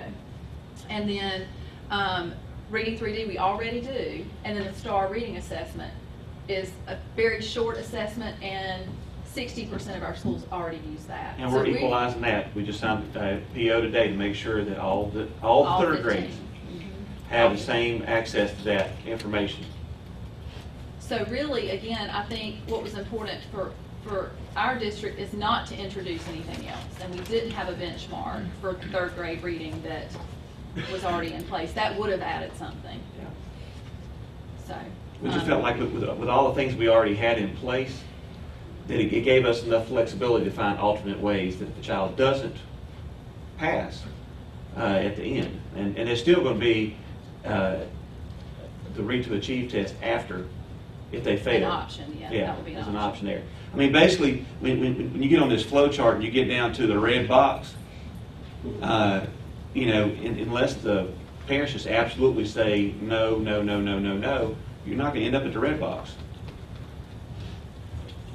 And, and if you go to summer school, And someone may not be able to see that, that says the student is retained. Students really are, are retained for one of two things. If the principal, because principals have the authority to retain students, they have grade placement authority. So if that's a student that retention, um, through a lot of conversation, a lot of interventions, if retention truly is in the best interest of the child, principals can still do that. Or if they don't attend summer camp for not meeting any of these other good cause exemptions. If a child, even if they get to the end of the year and they haven't met any of these criteria, with the exception of NC Extend One and Extend Two, they haven't met any of this criteria, if they attend summer camp, they will go to a fourth grade transition or accelerated class. They're not gonna be sitting back in a, in a third grade classroom, retained. So I, just in terms of what Dr. Schott was saying, really the only way to end up in that red, red box of being retained in third grade is if you get to that point where you're offered summer camp and you don't take it. Well, do we do our own, um, do we make up our own benchmark testing? We use case twenty-one currently. But can we make up our own benchmark testing? I mean, we could, but I- we don't really have an item bank that is appropriate. We, we don't really have access to those materials. So case twenty-one is contracted to do that. Um, for the district. So we could have them create a third grade benchmark assessment. No, I'd, I'd I'd really like to see us create one ourselves. I But- just never but- but think the any rel- but see, but- system. But the problem you run into there is the reliability and val- and validity of the test. And another test. Yeah. I I'm mean- saying instead of. Right, I Common understand. Right. Well, one, I'll just kind of, if you don't mind me addressing that quickly. Um, one thing that DPI does have in the PowerSchool and Home Base system is called SchoolNet. And that is an item bank, and we actually are exploring that now as a possible option, instead of using Case twenty-one, to use SchoolNet in the future, and then, um, create assessments locally using that, that, that, that, that, um, item bank. And that's real similar to what Study Island used to be.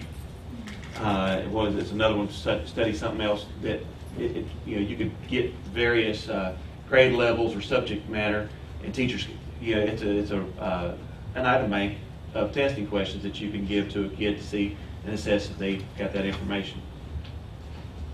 So, Is there something else you want? I, I just appreciate the feedback on the complexity of, um, the flow chart, and, you know, like I said, I'm welcome for suggestions. Ms. Tony is, will send me what she has, and we'll do our best to make sure that parents feel like they know, after those individual conferences, where their, where their child is and what are possible options for them. Well, this is just really hard and I, I appreciate it. I know this is very time consuming for you. And I appreciate our teachers being committed. They, they've been under the most pressure at this point and trying to do what's right, do, you know, help children feel valued beyond, um, this particular requirement. Um, and I appreciate that, but they really are the ones who are doing, and we're hoping for some relief for our exceptional children, kids who are being forced to take these tests. They have no business taking it if they're not cognitively able to take it. I mean, that's like, It's so it's sad. punishment. It's punishment. It's sad. I mean, it, it is cruel and unusual punishment for those children to be subjected to that on a, on a basis. And I do believe, you know, after having a conversation today after our community and school meeting, I do think that there is some relief coming for those children. So I'll, I'll be looking forward to that. Component five, successful reading development for retained students. Um, basically, we're to establish reading, summer reading camps, offer an accelerated reading class, um, and/or transitional third and fourth grade classes, including ninety minutes of, ninety minutes of daily uninterrupted evidence-based reading instruction, offer supplemental tutoring outside of the instructional day to students that have been retained more than once under the law. Honestly, bullet four, that's not a priority right now. We don't have any students that have been retained more than once under the law if we're here this time next year and we have some students that might be retained again.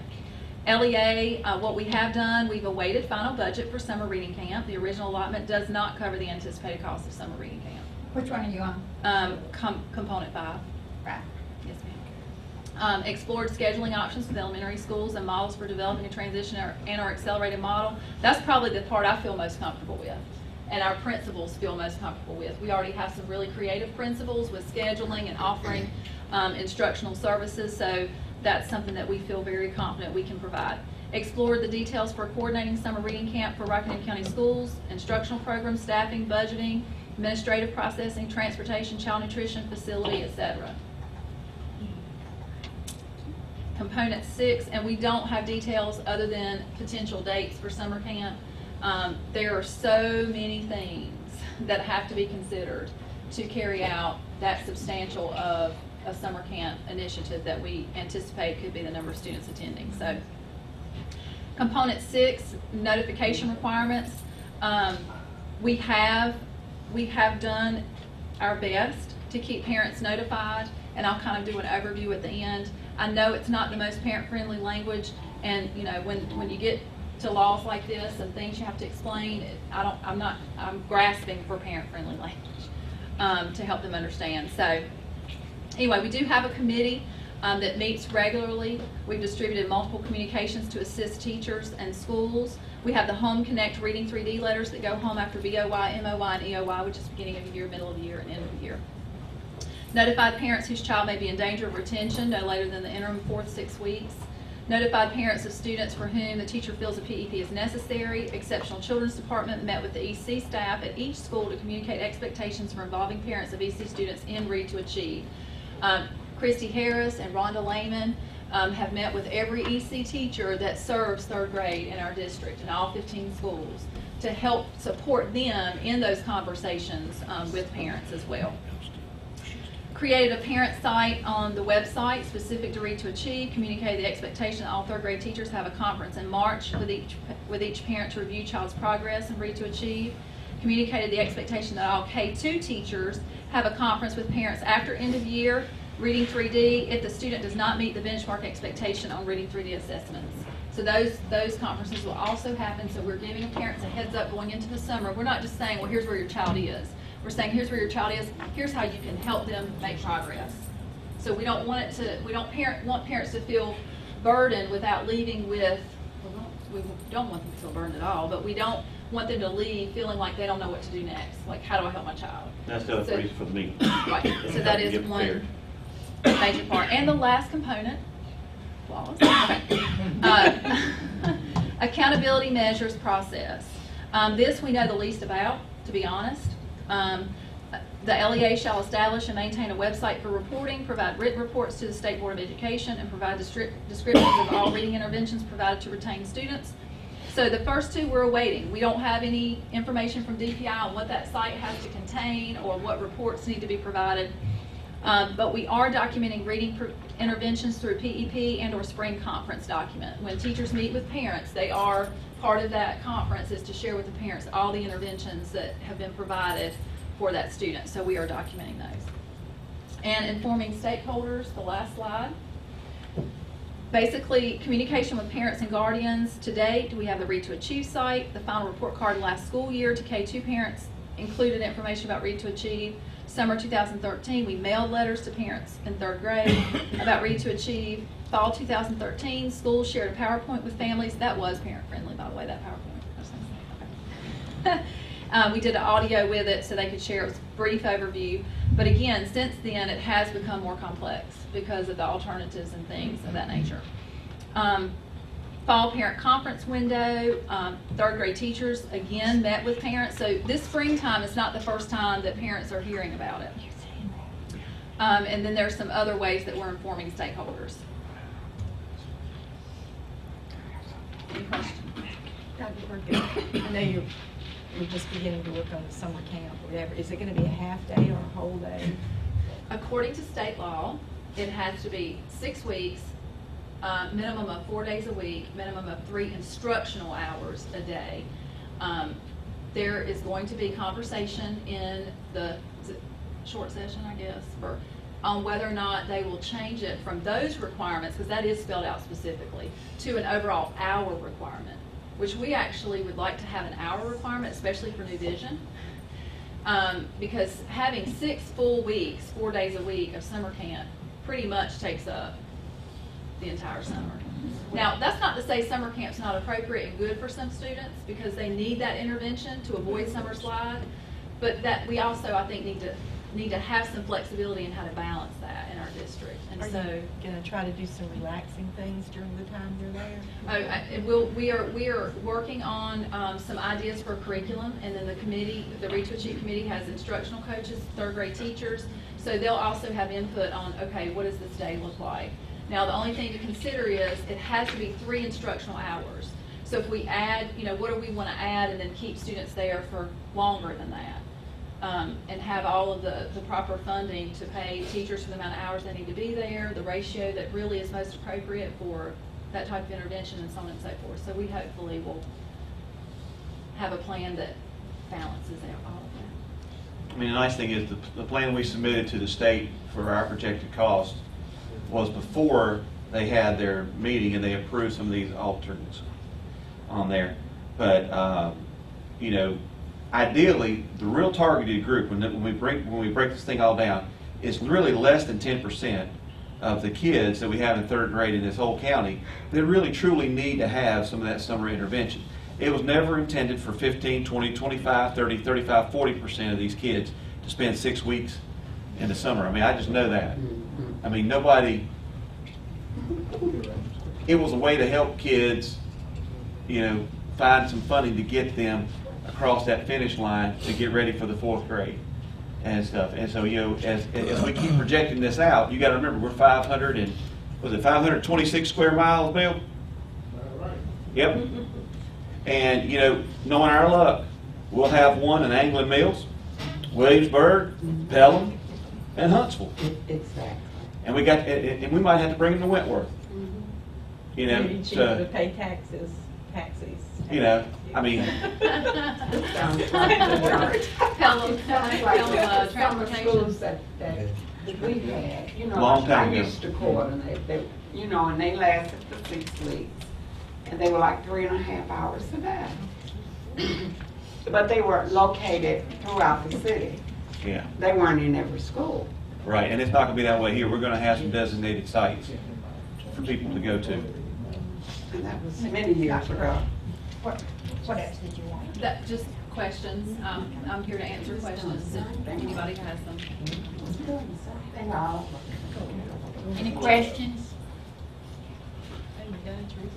Thank you, and you are presenting the next time? Yes, and I know everybody's tired, but please have fun, because this is something fun.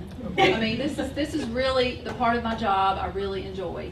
And Karen Heiler and I work together. Um, it's really important for, for us to increase the communication with parents prior to kindergarten. And so, um, Karen Heiler and I created a, a book contest, so all the kindergarten classes who wanted to, it was optional, and it's aligned to their writing standards, could submit um, a book to teach Rockstar turned five, as you know, and Rockstar starts kindergarten in 2014. So Rockstar will start in August. So um, could I can I put this? Um, okay. So we had. Ooh, I can't remember how many submissions we had. We had right many submissions. I'd say probably um, at least 25 or 30 kindergarten classrooms submitted. Um, and then the winner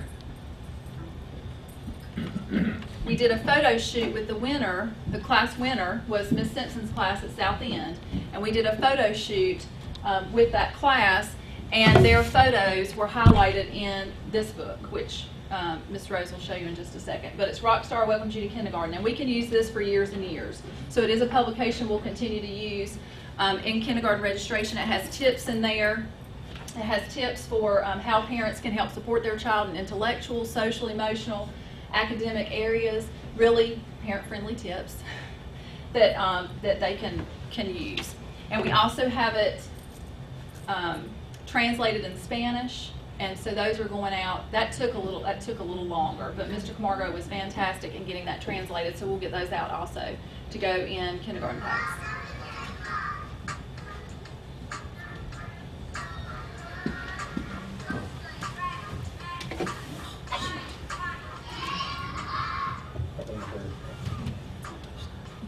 Yeah, I'm just not, no, right. I just got in a hurry, I'm sorry. You can't. Okay.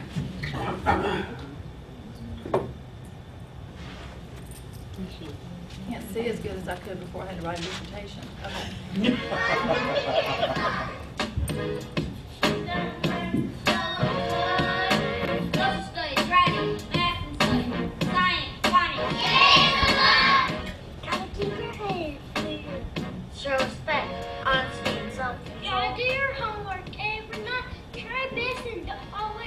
Stay right. line when you walk in the hall. Watch where you're going. On fall. Sometimes when it's so you go outside. Play nice and press down the slide. And then kindergarten. We like to take a little Police station, pumpkin patch, science. That's one day you don't want to skip. We like to sing songs about the days, but when I need to talk, my hand must. By the end of the year, you know how to read. You know that plants Listen to your teacher and make real proud. So you see, school can be so much fun, before you know it, it's over and done. In that class, that class also submitted a book, and students actually had created um, a little paragraph about what Rockstar, what would help Rockstar be successful in kindergarten, or what Rockstar need to know. So you can see that on the district website. We, so again, we went um, to that class, and Rockstar and I did a photo shoot, and so the students um, in this book are the kindergartners from that class. It wasn't, we couldn't fit all of them in, but there were some selected shots um, in there. So questions? Okay, they can look at it. Oh, Oh, yeah, on the board docs, you can see the book. Okay. Thank you, thank you. Thank Sorry you. we kept you so long. Sorry, no. The I'm next sorry item, for before a bathroom break, Dr. Shotwell. Oh, no. Got five minutes. Keep going. Uh, really, real quick, we've got uh, Catch the Reading Bug. I mentioned this last month, but we've got it on March 22nd from 9 to 2 at uh, Holmes Middle School. It is really uh, a, a fun time to come out. There's lots of activities for kids. Uh, there's always free books that are given out to kids. I mean, it, it is a huge uh, deal for our uh, reading association here in Rockingham County, and kids have a lot of fun out there. Each of the schools and different departments and different county agencies have different tables out there for kids to have some fun. Um, also, it was it was really uh, beyond any expectations that Marilyn uh, pulled off this morning with community and schools. She's not here, uh, but you know we, we had the official kickoff for community and schools, where we have a, a community and schools person that's shared between Holmes and Reidsville Middle School. It's a partnership with the Reidsville Area Foundation, the Rockingham County Education Foundation, Rockingham County Schools. Um, and it, it has all the makings of success. We had lots of people here today. We had Senator Berger took time to come and uh, speak. Uh, Representative Holloway was also here and, and, and spoke. And it, it was just really neat. And uh, of course, our own Mark Richardson back there had some words to share with us as well. And uh, it, it really is about a partnership. And it, this is so so much different than uh, than than the previous program we had. Because last time we had some very caring individuals who served on the board and trying to make it work. But I think having so many people invested in this for the success uh, it is really exciting because it's twofold. It's mentorships for our children in the middle school. Some of you all served as mentors when we had the the old community in schools. And it's also a way for people to come into the schools and debunk, uh, quite honestly, some of the things that they hear. And the last time that they showed up into a school was either the last time they graduated from a school or the last time their child who graduated maybe 10, 15 years ago uh, left. And coming back into the schools, they'll see that kids are still kids, kids still eager to learn, and they still need a uh, an adult in their life. And I'm still a firm believer, having worked at the high school level, but I think it, it applies to all three.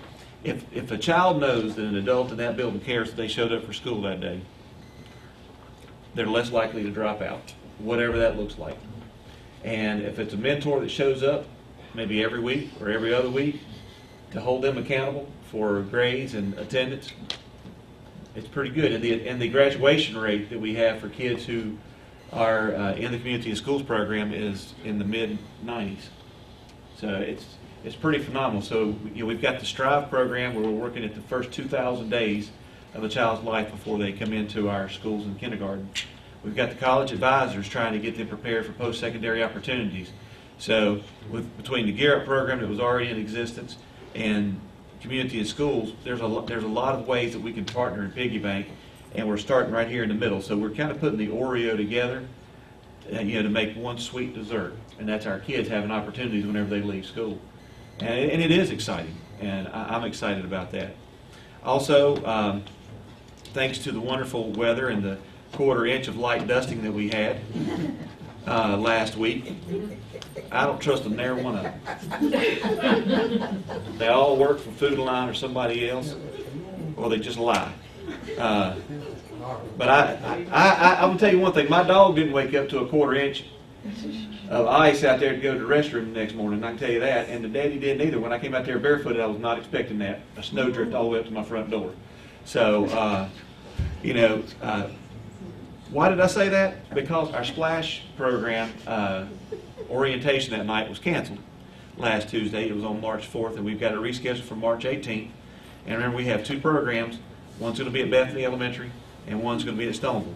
One at Bethany is full immersion, uh, and then the one at Stoneville is uh, an AB day, and half the class are native speakers, and the other class are other half the class are English speakers, and they go back and forth every other day as they go through uh, kindergarten. Uh, and, it, and it is exciting because if, if you really think about the possibilities of what these children are going to be able to achieve, they could conceivably be taking advanced placement in Spanish either in the seventh or eighth grade, which will already have college credit before most of their kids are taking the Algebra 1, getting high school credit. And it gives them the opportunity also to master other languages, because when we're talking about Spanish, it's a Romance language. They could easily pick up, especially if they're adept to it, Portuguese, Italian, and French to go along with that. And when we're talking about a global economy, uh, it's pretty powerful to be able to have a, a child to come out uh, being able to do that. And so I'm excited about it, and uh, I, I just hope my kid wins uh, one of the lottery numbers. Because, I mean, I, my kid's not going to get any special treatment either. So if there's a bunch of kids that want to get into it, whoever's name gets pulled out. So, anyway, uh, that's all I have for right now. It's March 18th at 6 o'clock at Bethany and Stone. So uh, if you run into anybody, please tell them about it. We're excited about the program. Uh, and it's not uh, being ran by a fly-by-night company. It's uh, visiting international faculty. And they've been around for quite some time, and it's exciting. Motion to go into close? Uh, I would like to make a motion to go into closed session to preserve the attorney-client privileges to discuss personnel matters Thank you. protected by state law. And the minutes.